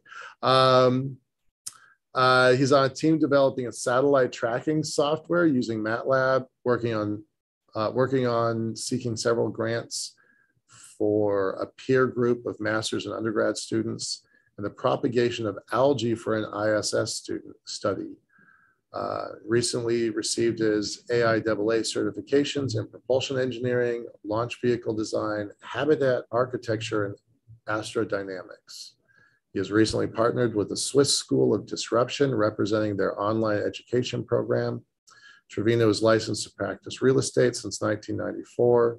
Since 2000, he has practiced commercial and residential development and leasing offices in San Francisco, California.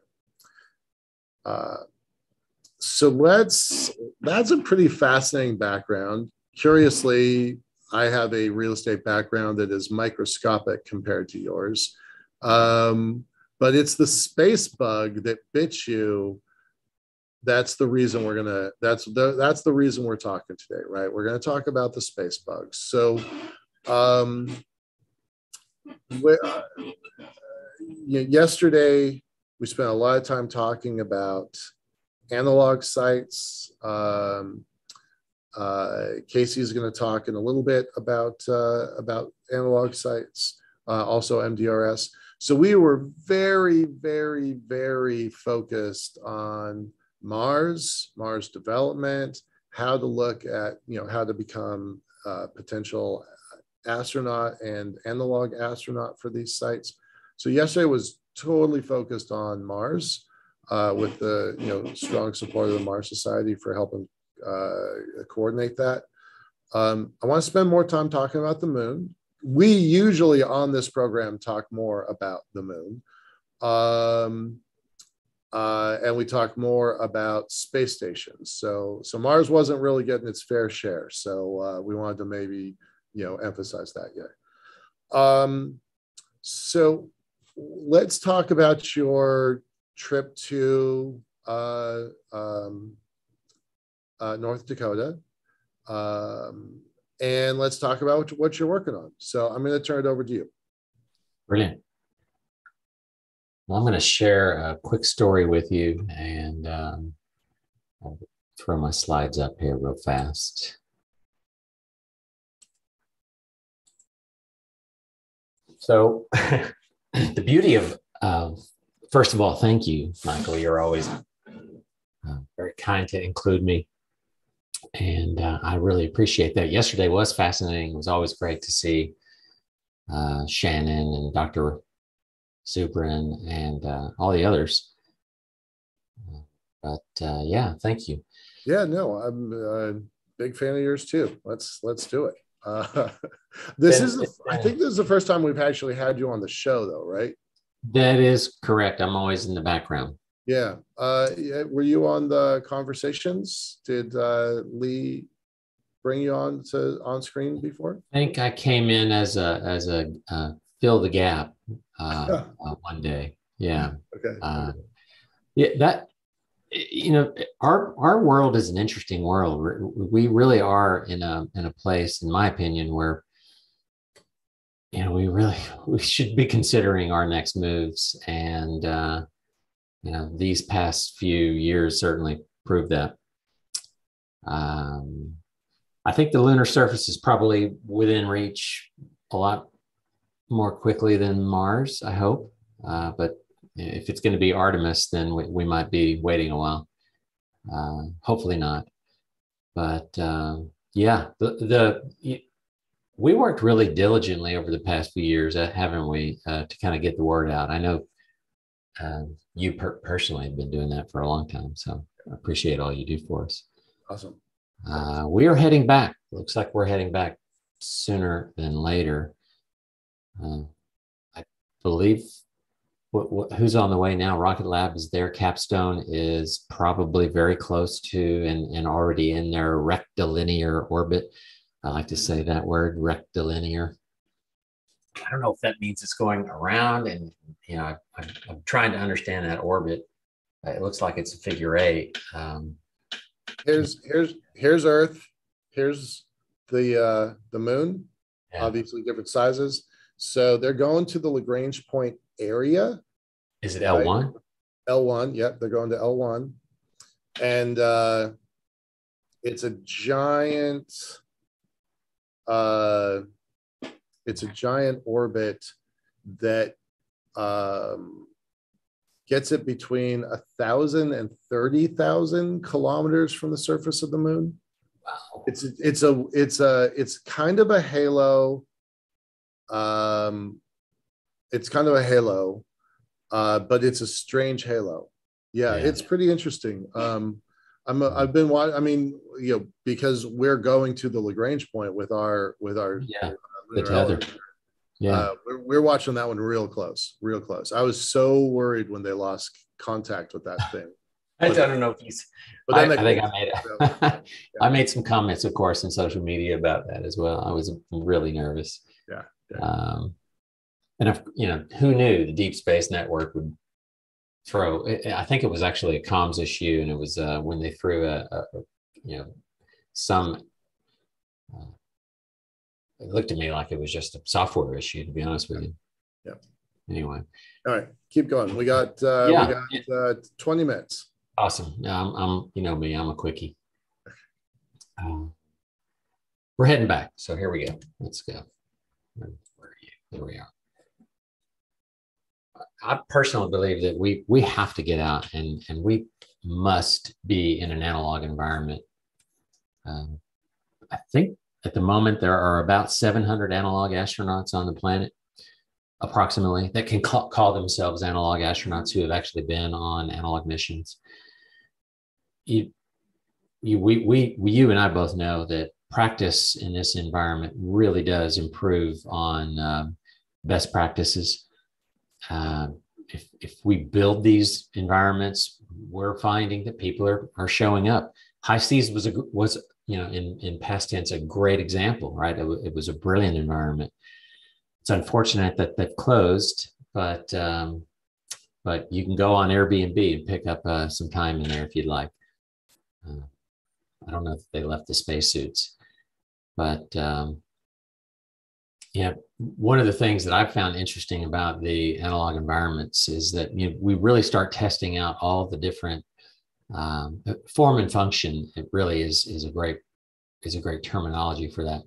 How are we going to react to regolith that rips through our suits or tears through the bearings in our wheels and uh, you know what are we going to do how are we going to build build to prevent that and as diallo said yesterday or jen said yesterday about diallo professor wallace t- test before we invest and uh, that's what we do with analog environments um, you know one of the things i'm working on here in the lab is um, hardening these assets so that they are you know better able to perform uh, over the long long term, right? The, the long term missions themselves, so that you know we don't die of radiation or we don't kill our plants in these environments. And these are all, to me, very important.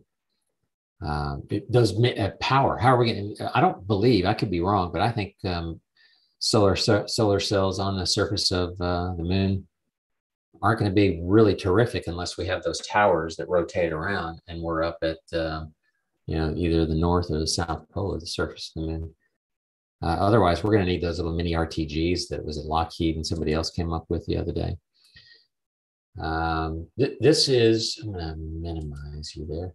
This is um, um, uh, and these spacesuits at the ILMAH, which is the Inflatable Lunar Mar- uh, Martian Analog Habitat at the University of North Dakota. And by the way, these are all images that I've either taken or I am in, or uh, I participated missions that I participated in. So they, these are all. There's no copyright on these, at least from my perspective. Um, this is um, this is the suit that um, that Dr. De Leon, Pablo De Leon, has uh, developed. It's the it's a uh, it's a an amazingly authentic lunar suit. Runs at about one ATM, one atmosphere, and uh, um, I can tell you it's quite bulky. It's a bit heavy.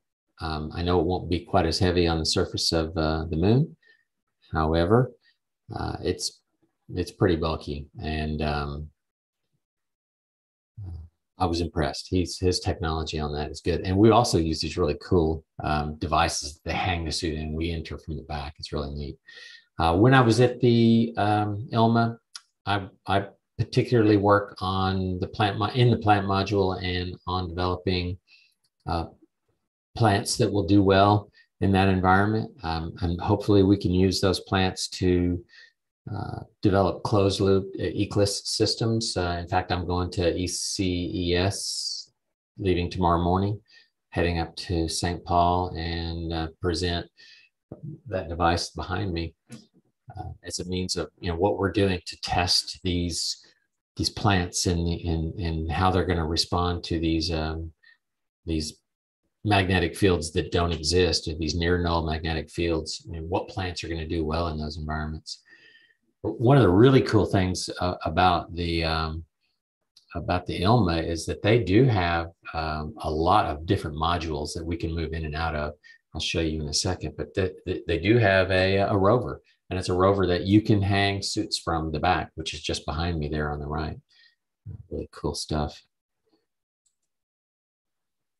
Some of my team members, crew members, um, you know, it's a it's a story program. They've been around quite a while. It, they don't get the uh, the attention maybe that they deserve, but that's probably a good thing because uh, uh, there's more time for me to get in and do my research. Uh, this is Sarah. Sarah was on the mission with me last mission, and she came up with some brilliant concepts on how to uh, to rescue if somebody gets in trouble on the surface of the moon, what are we going to do? How are we going to rescue them? What what devices are we going to use?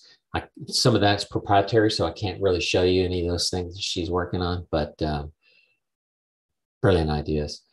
Uh, the second picture just to the right is this device behind me. And what I've done, I've, I've, created a near null magnetic field on the inside of that device. And that uh, is allowing plants to propagate, and they are doing quite well. Uh, this is that's Professor Wallace right there. This is uh, Lori Waters, and a lot of a lot of people on this call and in these videos will probably know her. Terry, Terry, let me interrupt for a second. Yeah. Um, Sarah just said, "You have my permission, Terry."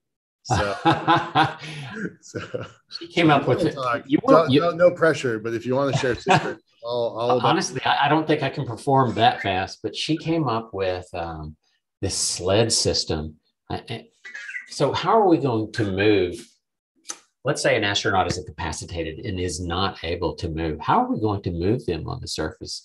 Uh, she came up and you know it's really it it's a it's been around a while the sled itself the sled system but how are we going to physically move this this person around? And um, and so because they're incapacitated and it was just brilliant. It's a it's literally a, a sled we would you know roll the astronaut onto the sled and then we would just simply move them around. It's not that simple, but uh, it, it, will work. I'm, I'm convinced. And, uh, and I know um, a few of my close friends in, uh, in NASA and a few other places are, in ESA are very interested in this device that she's um, she's kind of manipulated for the lunar surface. And we're going to be there very soon, so we need to be ready. Right. Yeah. Um, Sarah's brilliant. Thanks, Sarah. I appreciate that. Yeah. Thank you, Sarah. Uh, I think there's Can another question about this. I don't want to. I don't want to like blow the the your process or your slides or. Yeah. Let's talk it out. Uh, this uh, null gravity. Near null, yeah. Not gravity. I, I said that wrong. Sorry, sorry. Um, uh, null null uh, magnetic, magnetic field. Yeah. Field. So that's what I'm thinking is just it's like it's two sets of copper uh, horizontally and two vertically. And so that isolates, and maybe there's a fifth one in there. I can't tell. Maybe I think there is. So that isolates the plants so that they're not being influenced by by magnetism. I don't have the biology background to know why that should matter. So so explain that to me because I don't get that. Uh, great question. I um, happy to explain that. So it's actually uh, th- three sets of Helmholtz coils. You can go and literally buy the two. There, there are two pair in the middle there. Uh, there's a small yep. pair, and then there's a larger pair. All of these are these are off the shelf. These big pair I, I developed myself. I'm trying to manipulate the magnetic field away from the interior of the environment. Uh, and the reason I'm doing that is that one of the things that you and I both know is that we've developed our our our anatomy, our plants, everything on this earth is developed with a magnetic field protecting us. How are how are we going to, uh, you know, let's this really goes back to how are human cells going to develop in a near null or a null magnetic field? Uh, right. We're really keen to know that. I'm, we are testing on the biology side. We're testing human tissue that we can buy off the shelf. We're not going and, and picking up, you know, a person's tissue and testing it. But we're in that test bed as you see it right there. Uh, I'm, I'm actually developing a set of coils uh, that are bigger so that I have a larger test bed so I can increase the number of samples that I can test inside there. We, all, we also pulse the field. And the reason we pulse the field is that we want to uh, when I say pulse, is that we we're throwing the electromagnetic waves out and away from the interior of the of the field, so that you literally on the inside where you see those plants are, you almost have what's considered, in my opinion, uh, about an Australian rules football size test bed. In there, we know that we've got um, a magnetic field that is very close, in fact, almost identical to the Martian magnetic field, and and even more so to the lunar surface. Okay. So that that's what we're preparing ourselves for is in, in the biology um, biological side. We, we want to be ready to take our things with us and see how they'll do um, and, and know how they'll do in a near null magnetic field. So I'm, I've been working on uh, spirulina, which is the, the two tests down to the lower left and in the middle at the bottom, how they'll do in that near null magnetic field. I'm also working on Arabidopsis. I did some uh, tests on a bunch of different leafies. Um, you, you, name it, we've tested all of it. Uh, some plants are not going to do well. Oddly, t- tardigrade is not going to do well. People are surprised to hear that. Yeah. Uh, because tardigrade is probably one of the most hardy water bear, are probably the hardiest things that we, we have on the surface of the earth. They've developed here on the surface of the earth, right? We don't know that we're they're going to be on uh, on asteroid Ryugu or Bennu or any of those, right? We don't know that because we haven't found them yet. Um, so I'm yeah, let's see how things will do. Yeah, tardigrade um, did not respond well uh, on a previous study. Uh, I am going to study them. I'm actually really curious, and I hope I don't. I hope they don't die uh, because that's a brilliant way to get some, you know, um, calcium on the surface of any other planet. And uh, yeah, so that's great question. Like so yeah, I want to I want to make sure that you connect in with Dr. Edelbroek. Yeah. I mean, you what you're doing with plants, he's got to figure out for for people. So yeah, definitely. I'll, I'll, I'll, do that. I'll do that offline. But yeah, that's that's yeah. great. Okay, I, I, I, don't, don't want to like. No, no, it's okay. We can chat this out because it's just uh, I'm really I'm just showing a few images and a bit of detail about um, what I'm working on here. So that's um, I appreciate the um, the give and take. Yeah, I, his entire talk, I'm thinking, how is an embryo going to react? Right? Uh, we, we don't know. And I certainly can test that here in this environment. I don't have the IRB. So I am um, uh, technically still a, re- a, graduate researcher at uh, American Military University. So I would have to get my IRB approved, which sometimes is not that easy. Um, Space for All, my, my, I have three different corporations that I've um, that I've partnered in, and all of them, you know, would be interested in this and working in this environment. But uh, I still have to get my IRB, my in what do they call it, uh, internal review board IRB or something like that. I I never know the names of all these acronyms. I'm learning as I go. Uh, anyway, I'm going to go to this next slide. So this is the ILMAH as it is. It's a spectacular facility. It's a research lab. It is developed um, with the horizontal rocket bodies that you that we might have uh, if we land horizontally, which it looks like we may. Um, certainly, we can, you know, probably lift and lower these onto the surface of uh, whatever planetary body we're on, and and put them in a horizontal fashion.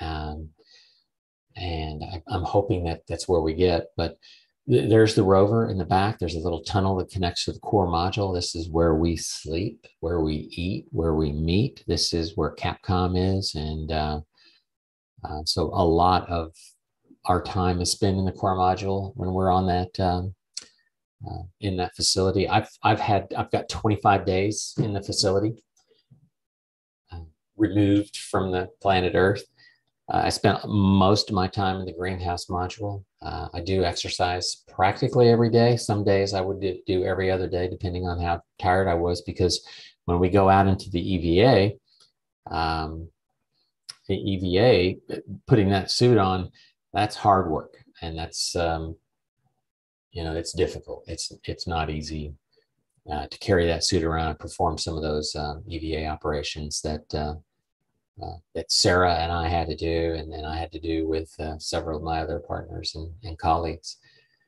Uh, the geology module, I spent quite a bit of time in mission one in there testing out um, our, um, you know, our different plants, seeing how they're doing. There was a really brilliant microscope. I, I just picked up a copy of that microscope here and use. It's um, very important. And then we were testing soils in there as well that's a really neat facility. Now, you know, they were NASA funded. I don't know if you know that. They they received two UND received two NASA grants, uh, both to about seven hundred and fifty thousand each.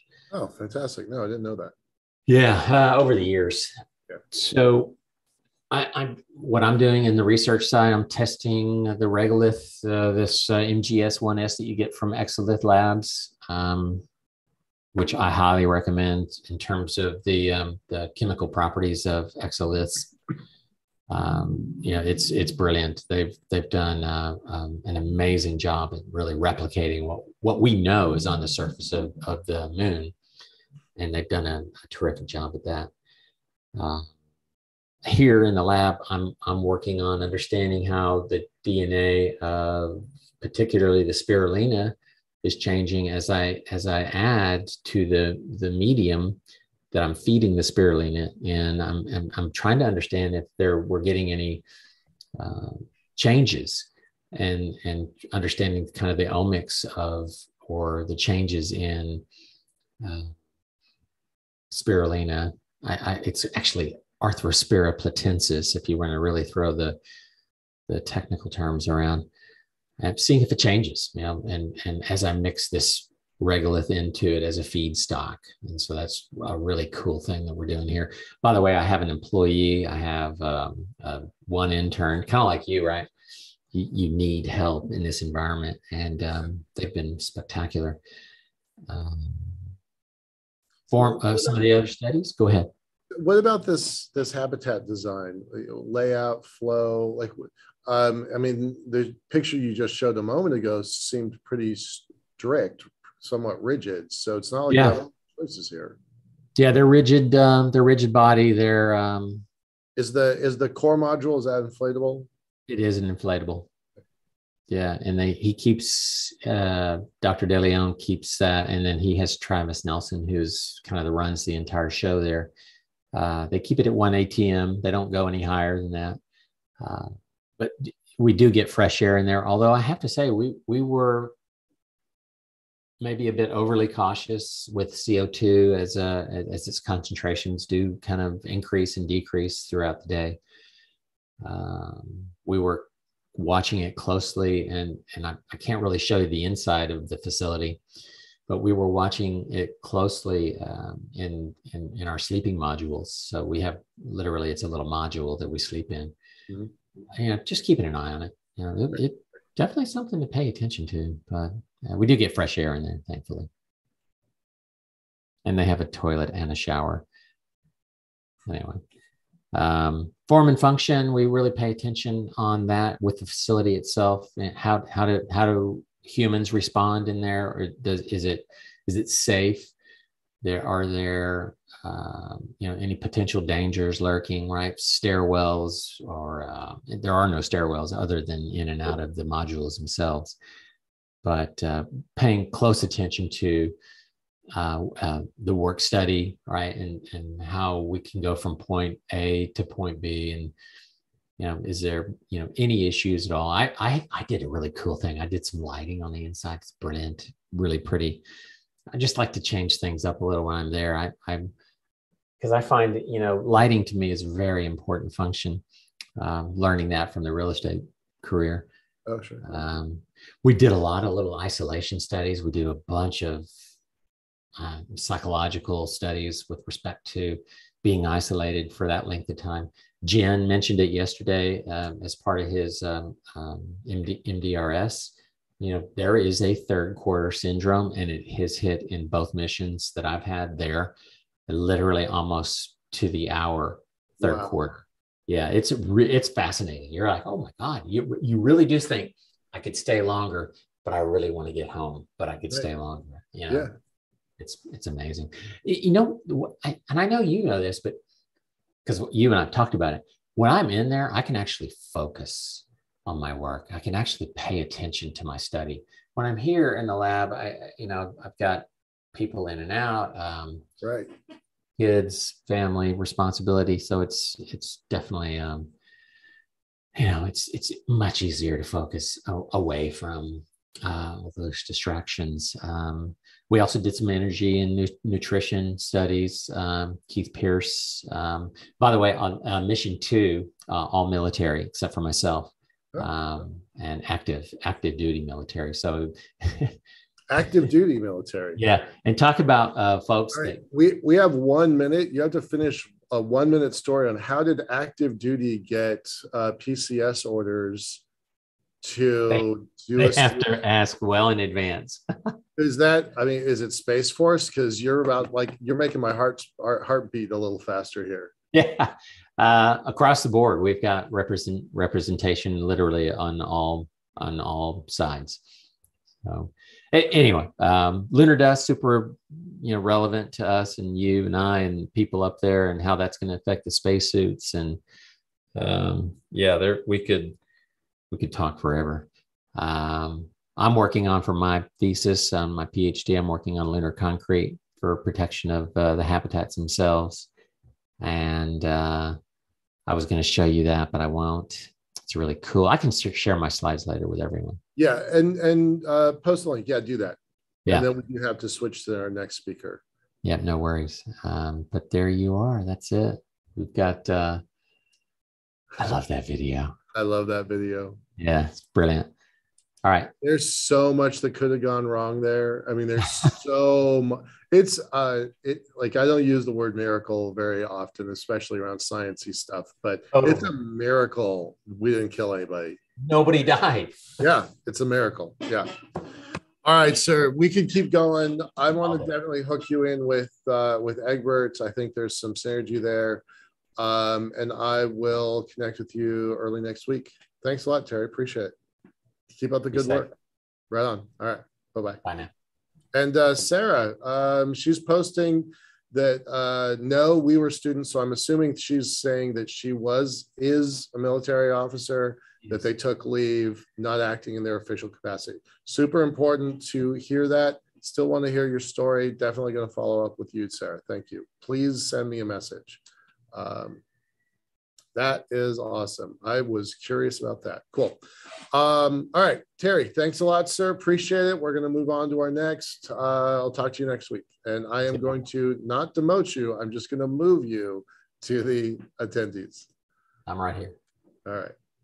Uh, whoops. Whoops.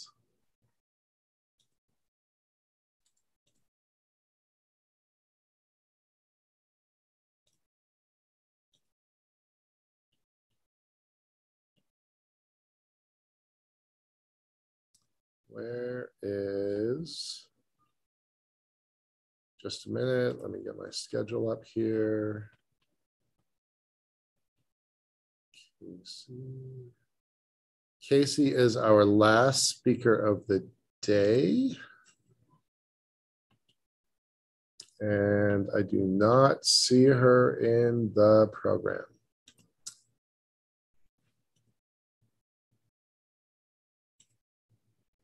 She has communicated that she's on her way. Give me 10 seconds here. Let me just check messages.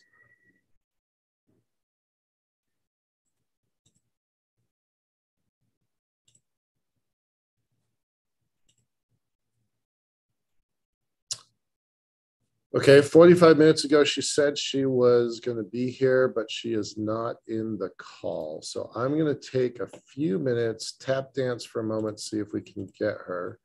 Um, send a message to, thank you. Um,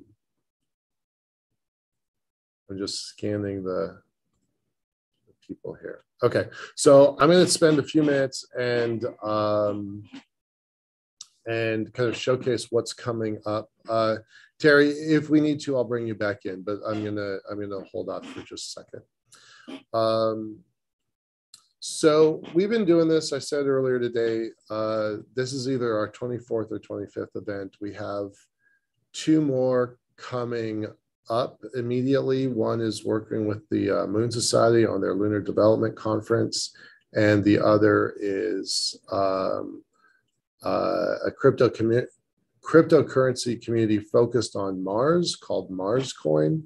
Both fascinating organizations. We really want to help them out as best we can. Um, so those are coming up, and I see Casey's here, so I'll let I'll promote you just right now.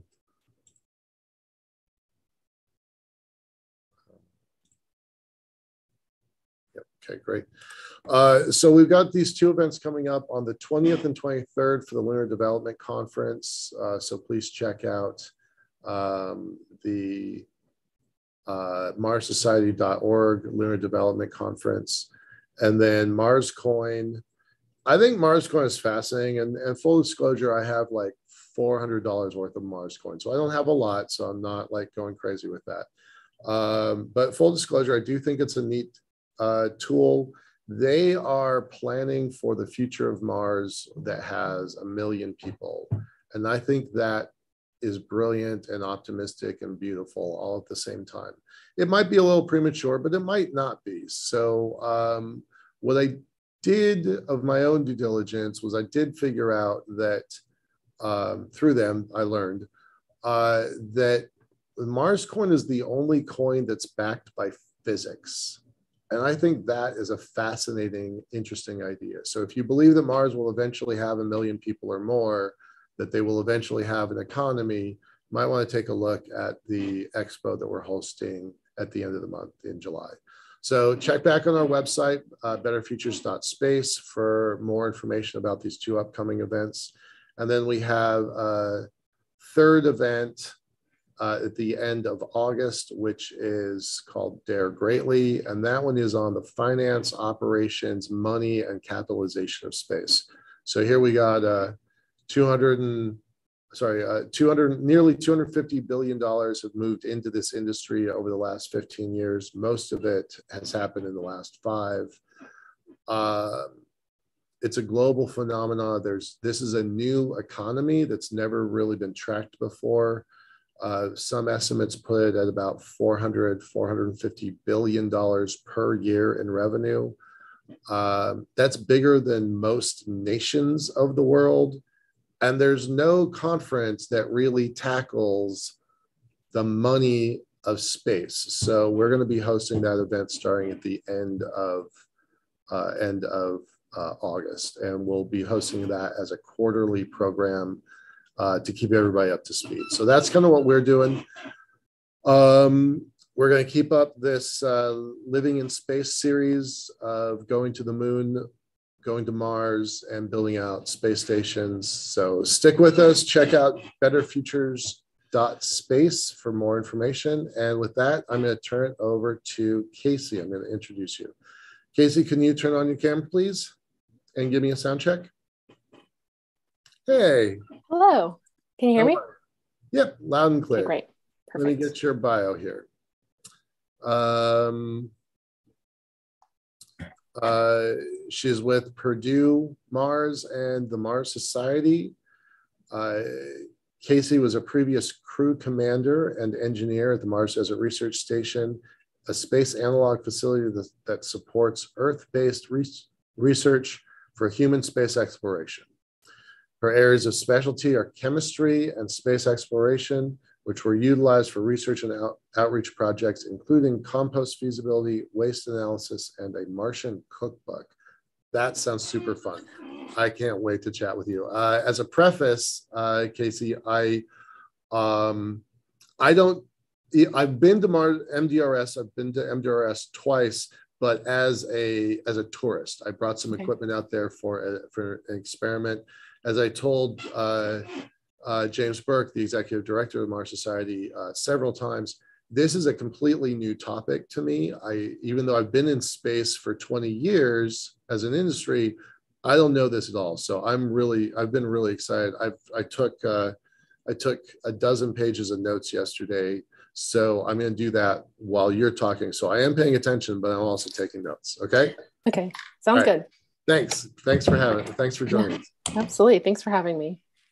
Um, that's exciting to hear also because I want to share just kind of like what a crew's experience is like and kind of what that taught me and how that kind of gave me a foot in the door of kind of this like broader field of space exploration mm-hmm. um, and living in space. So um, I'm happy to like explain what that's like for you. Awesome. Um, so, like you said, my name is Casey Hilton. Um, I'm an analog astronaut who was part of two MDRS missions. Um, one was Crew 202 and the other was Crew 236. Um, and so, Purdue, I'm part of Purdue Mars, which is the Purdue chapter of the Mars Society. Um, in Purdue, along with a few other colleges, kind of have like these regular rotations at the station. Um, so basically, they've come, they've had a rotation, and they have proven that the research that they do um, and how they work is um, good enough to basically have a spot on more than one rotation and kind of have regular rotations through the year. Um, and so that's a great honor that Purdue has. And so that's how I got connected to MDRS um, and all that stuff. So I've actually experienced MDRS three times, um, two times as part of a crew, and then once as a visitor, kind of like you were. Um, and so I'm really excited to share what living in space is like from this crew's perspective. Um, kind of like I said, things I learned along the way, and what I look forward to seeing um, the future of living in space and space exploration being, and what it looks like for humans to be in space. Um, so, from a very young age, I loved chemistry. I grew up loving cooking shows, and I realized much later in life that I really only liked them because they contained chemistry inside of them. and I didn't want to be a chef at all. I was like, I want to be a chef. And then I realized, like, oh, no, no, no, no. I like the chemistry aspect. So I ended up at Purdue University um, studying chemistry. I got involved with multiple different space clubs and programs at Purdue, which then led me to be part of Purdue Mars. Um, and through that, my knowledge of space went from just something that I thought was fun and was very curious about, um, really, really expanded to um, what the current state of space exploration is like. And so through that, um, I've had the opportunity to listen to the chief engineer of the Perseverance rover talk, kind of give a presentation what they expect that whole mission to be like. Um, back in 2018, he came and spoke. Um, I've gotten to listen to a spacesuit engineer present what you know the future of spacesuits looks like, especially being on Mars. Um, network with some of the most amazing people, including people. I mean, here the Mars Society throughout Purdue, um, and then go to the Mars Desert Research Station. So basically, in 2019, excuse me, 2018, I filled out an application form to go to MDRS and was emailed by the commander of Crew 202 um, and asked if I'd be crew engineer. And so I have, this was a second rotation. There was one the year before, and this kind of helped solidify Purdue's um, place in the rotations at MDRS. Um, and so as crew engineer, my job was to fix things and keep the functioning the station functioning properly. So keep tabs on water, electricity, solar panels, rovers. I mean, anything that goes with the functioning of the station was my job.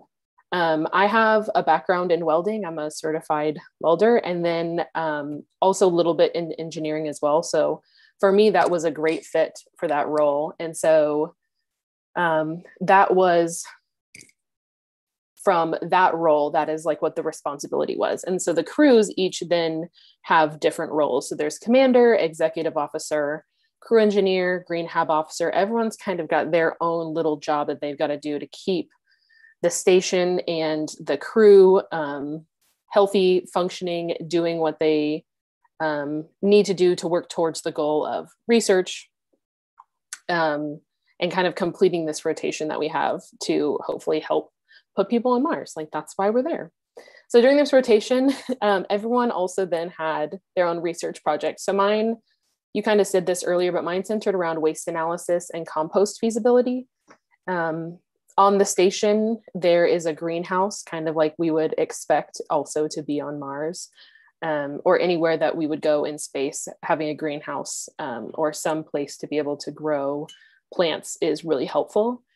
Um, so basically my research was about like do we produce the proper waste to have um, a good compost mix? So compost kind of takes a certain percentage of carbon based things and nitrogen based things. Um, so you have like uh, food waste and then you would have things like paper. So you kind of have to have a good mix of things in order for it to be good to help fertilize plants. Um, so uh, analyzing the waste on the station from um, burnable, non burnable, what's recyclable, what could be reused in the station, what couldn't be reused, um, what could be composted, what couldn't be composted, what is just plain trash that we would have to get rid of. um, human waste as well, which kind of turned into um, something entertaining for us to keep logs, um, kind of turned into a game for us. And so then analyzing all that to figure out like, do does the station or what we would expect crews going to Mars um, produce the proper amount of waste to get this good mixture of compost? So, anyways, that was what my um, research um, focused around and so this experience of being at Purdue as crew engineer, this is what really solidified that love of like space, um, space exploration, and my desire to get humans to live and explore space.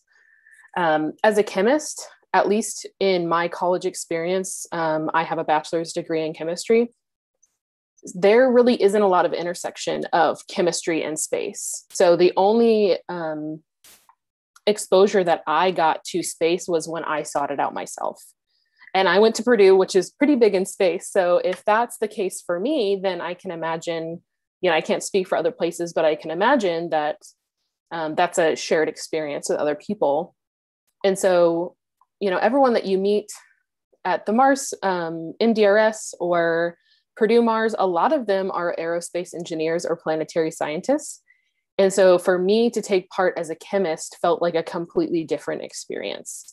So I had different knowledge, I had a different background, kind of a different perspective. And so it was a whole different experience for me. And I left the station understanding that there was a place for me and there was a place for people like me and people who don't do aerospace engineering or planetary science. Nothing wrong with them, but I understood like, oh, wow, there's this whole um, other side to space exploration that is open to people who are chemists, who are botanists, who are biologists, who are um, writers and artists. I mean, there's a bunch of different roles there. And so it really opened my eyes to seeing that, you know, like living in space and getting people to space is not just the role of aerospace engineers and planetary scientists. It kind of takes everyone.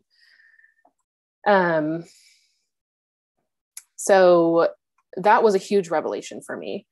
Um, at the beginning of 2020, I visited MDRS again as a visitor, kind of like you did, um, but I got to see the next Purdue rotation. So the one after me was there. And so I was kind of able to see from a mission control perspective, an outsider's perspective, but looking in, um, what does the functioning of an analog site like MDRS take? And what does it look like? And how um, what does the staff and the the employees do to make it function and all that stuff that goes into it and so that was just really interesting um, to see kind of both sides of the coins like what research is being done in there as if we're on mars and then what kind of research and uh, what roles it takes to then make these things function and kind of like the two sides of the coins of getting people to live in space um, so that was really helpful shortly after i was asked to be commander of then the following crew, um, which was one of the greatest honors I've ever had. I mean, this felt like a huge step in um, like the path of growth for not only Purdue crews, um, MDRS, but just kind of space exploration in general, however small that kind of m- might have been. But for me, it felt huge because now someone who was like me, who I felt um, who's not maybe like a conventional has a conventional background um, within these crews or within the field of space was i was now given this opportunity to be commander which was huge um, so not only that but I'm was the first woman commander of a purdue crew.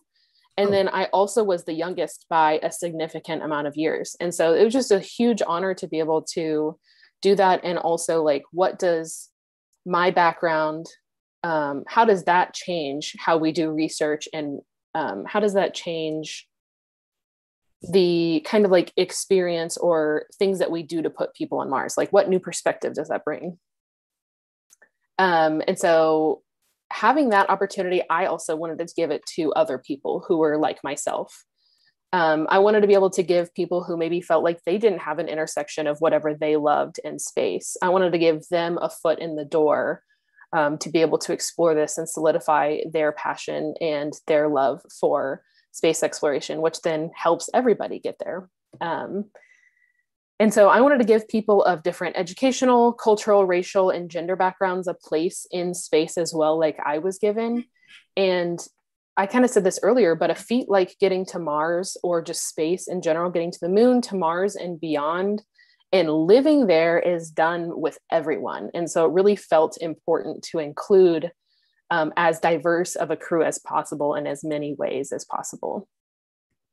So the 2020 and the 2021 field season that we were supposed to be a part of got delayed due to COVID, uh, which is not, it happened a lot. Everything and so, else, yep. right. It was the necessary steps we had to take. And so that also brought changes to my crew. I had picked a crew who I felt like really represented um, the diversity that I wanted in a bunch of different ways that I wanted.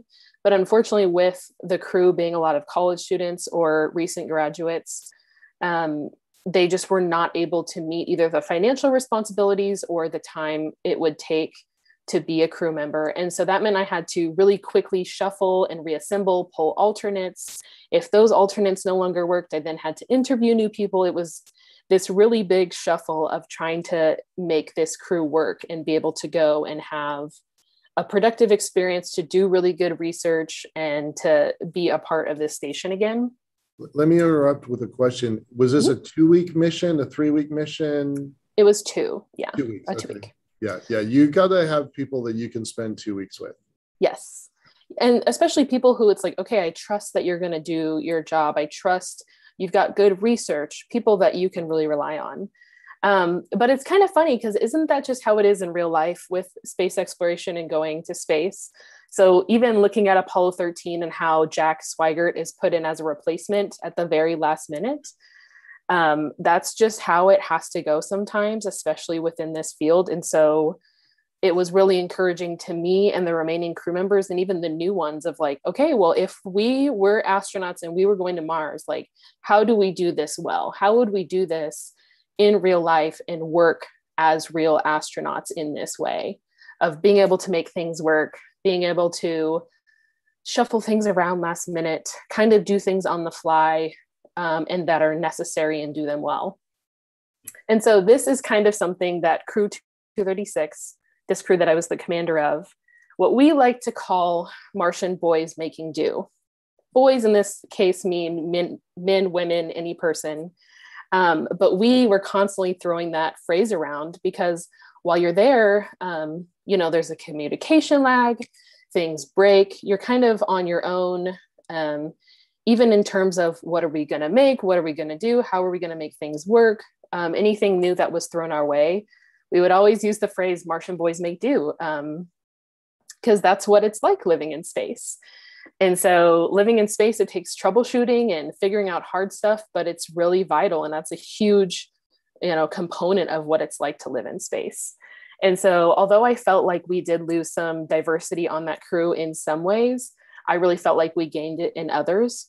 And so Martian boys make do, you know? That's, that's what you got that's what you got to do. And it was great. So um, in December of 2021, um, the crew finally made it to MDRS after about two years of putting it together, having it delayed, and then doing another one. We finally made it there. It was amazing.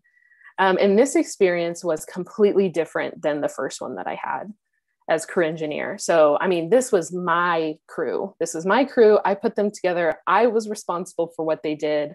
I was the one that had to answer to mission control if something went wrong. I was the one that had to answer to um, the employees of the Mars Society. I mean, it was completely different for me. And so I had to give over my responsibilities and tasks to other people and be able to trust them to do their jobs correctly. The jobs that, you know, I interviewed them for, that they have the background for, I had to give up control and let the people who were yep. kind of like specialists, if you want to call them that, do their thing. Yep. Um, and so that was a really, that was definitely a harder lesson to learn is to give up that control and let people who are better at these things do their thing. Um, yeah, but that's a lesson we all need, by the yeah. way. Yeah. And that's so important, especially living, I've said this a million times, but living in space putting people in space, whether it's the moon, Mars, beyond, putting um, rovers or telescopes in space, like that's what it takes is okay, like I have to give up my own control to people who know what they're doing. Um, so, although that was a difficult lesson, it was super important um, and it was really helpful. And so, it was my responsibility to then keep my crew accountable within their own jobs. So, there was updating them on the status of certain tasks or giving them timelines. Um, or even having to have one on one talks with crew members to solve problems it was important to keep everyone working together and working towards the common goal of living in space and completing research projects. Um, another difficult thing I had to learn was how to confront crew members um, when expectations weren't met. And so it was things kind of like how do we approach a problem with the goal of resolution instead of fighting? How do we approach um, the problem ver- like from the perspective of us versus the problem versus us versus each other um, how do i stand up for what is right and what our goal is but not people please um, kind of all these questions of like okay how do we navigate especially in a very limited environment like living at mdrs or what we would expect um, living on the moon living on mars or in a kind of like a spaceship like how do we go through these things because you can't really just leave no. um, and so this is something that I had to do a few times.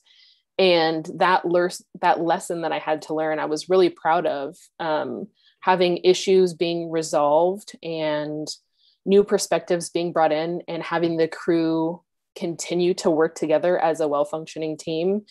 Um, I'm proud of myself for doing that, but also for other crew members having the ability to, like I said, have that perspective of the crew versus the problem versus fighting with each other. Um, and so that was another lesson that was hard to learn, but so important um, within the context of living with each other for two weeks um, in sim.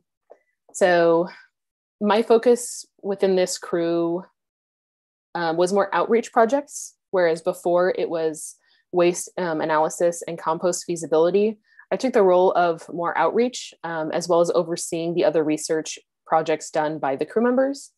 So we did a Q&A with a local third grade class to educate children about space and what living in space looks like.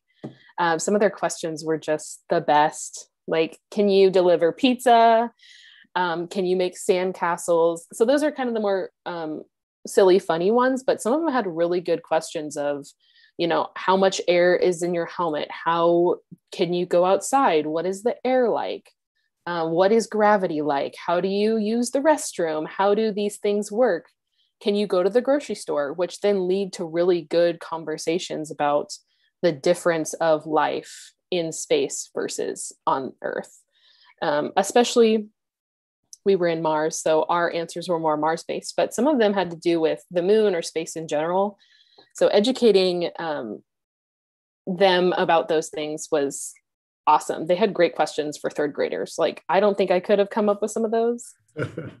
I love yeah. uh, I love working with. Uh, there's a sixth grade class that I, that I talk to pretty often. It's so mm-hmm. much fun. Yeah. Yeah some of them are so intelligent like they would be like oh well what about this constellation and this rover and i was like i only knew about that the last few years and you're like six or seven and you know all of these things yeah, yeah it's amazing it's remarkable yeah, yeah. yeah, so that was a really fun one um, the other outreach project was a martian cookbook kind of like you had talked about um, and so while you're at mdrs or on mars or on the moon, I guess anywhere in space, you have very limited resources. Um, so things like you don't, you can't go to the grocery store, you can't order food, you have to um, eat and make what you have at the station. And so using what was available to us at MDRS, I wanted to create a cookbook so that crews coming to the red planet or coming to MDRS could have their own little taste of Earth kind of their own little taste of home. And so this cookbook had a bunch of different recipes from different countries, different cultures, um, with the goal of people coming to MDRS and being able to find something that is similar to their home. So people come from all over the world to MDRS um, or any other analog site. And being in the United States, you know, food is available that is common in the United States. um, in other food that is common in other places might not be available there. So I really wanted to be able to um, make a cookbook that used what we had and kind of give everyone their own little flavor or little piece of home, um, regardless of where you came from or how you where you ended up, whether it was at MDRS or FMARS or any other analog site. Like that's what I really wanted to do, and so uh, we did that. We had a few different crew members from different places. One is from Russia and has a Jewish background, and then another one is from India. One is Italian. And so, kind of using some of their perspectives and then also bringing in other ones that we had brainstormed beforehand. Um, we put this cookbook together um, and it's in its final edit right now. Hopefully, will be available really soon. I think the edits will be done within hopefully the next week or two. Um, just kind of like cleaning it up a little bit, Is- making is sure that- it's easy to read. Are you saying you're using food that you brought with you, kind of prepackaged food that you can make it, spice it so it's like so it's Italian? I, I don't, I, or is this a global cookbook because it's you know stuff that we're going to take with us when we go to Mars? So the cookbook is based around the supplies that you were given while you're at MDRS. Okay. so when you get there, every crew has just a stock of food that is already there. And yes, and so um, there's different ingredients. A lot of them are freeze dried things, and so um, they're not like MREs. They're actually like food shelf stable food and ingredients. So you cook together like in a normal kitchen. And so using those things provided that are provided to every crew, how can we then make different dishes that are um, available different places? That's brilliant. I love so that. it, it was so fun like our crewmate who was italian he grew up in italy i think for the first or he was in italy for the first 25 years of his life and so we would kind of have to dig around and find what was in the inventory for him to then make you know his favorite italian dish or something similar with what was available. Um, and so since that was available to us it'll be able available to future crews so then they can recreate the same things. So, as we wrap up here, uh, your initial love for cooking got you the chemistry, got Uh-huh. you to Mars, got you back to cooking. That, I. I had never even pieced that together. That's hilarious. No. That was that's amazing. It did. It really did. That's hilarious. That's hilarious. I love Yeah. that. I mean, we all get bit by the space bug one way or another. Like we all Mhm. like mine is mine is more kind of a traditional path with fiction, but that is fantastic. Cooking led to chemistry, chemistry led to Purdue, Gosh. Purdue led to Mars, Mars led to cooking. Mhm. Astounding. That's hilarious. I did not realize we came full circle, but here I am. There you are. Fantastic. Casey, it's really been terrific uh, talking to you today. We do have to wrap up. Um, Okay. Let's stay in touch. Uh, what's what's next? Are you in a different program at Purdue or what are you doing? Um, I graduated in 2019, so um, I currently live in Georgia. I actually work for a medical device company and specialize in epilepsy, so it's kind of off, uh, not quite space exploration, um, but it's definitely something that I like to keep up with, kind of as a hobby or when I can, and try to get um, back to it whenever I can and if opportunities are available. So. Awesome. Last Yeah. question, short answer.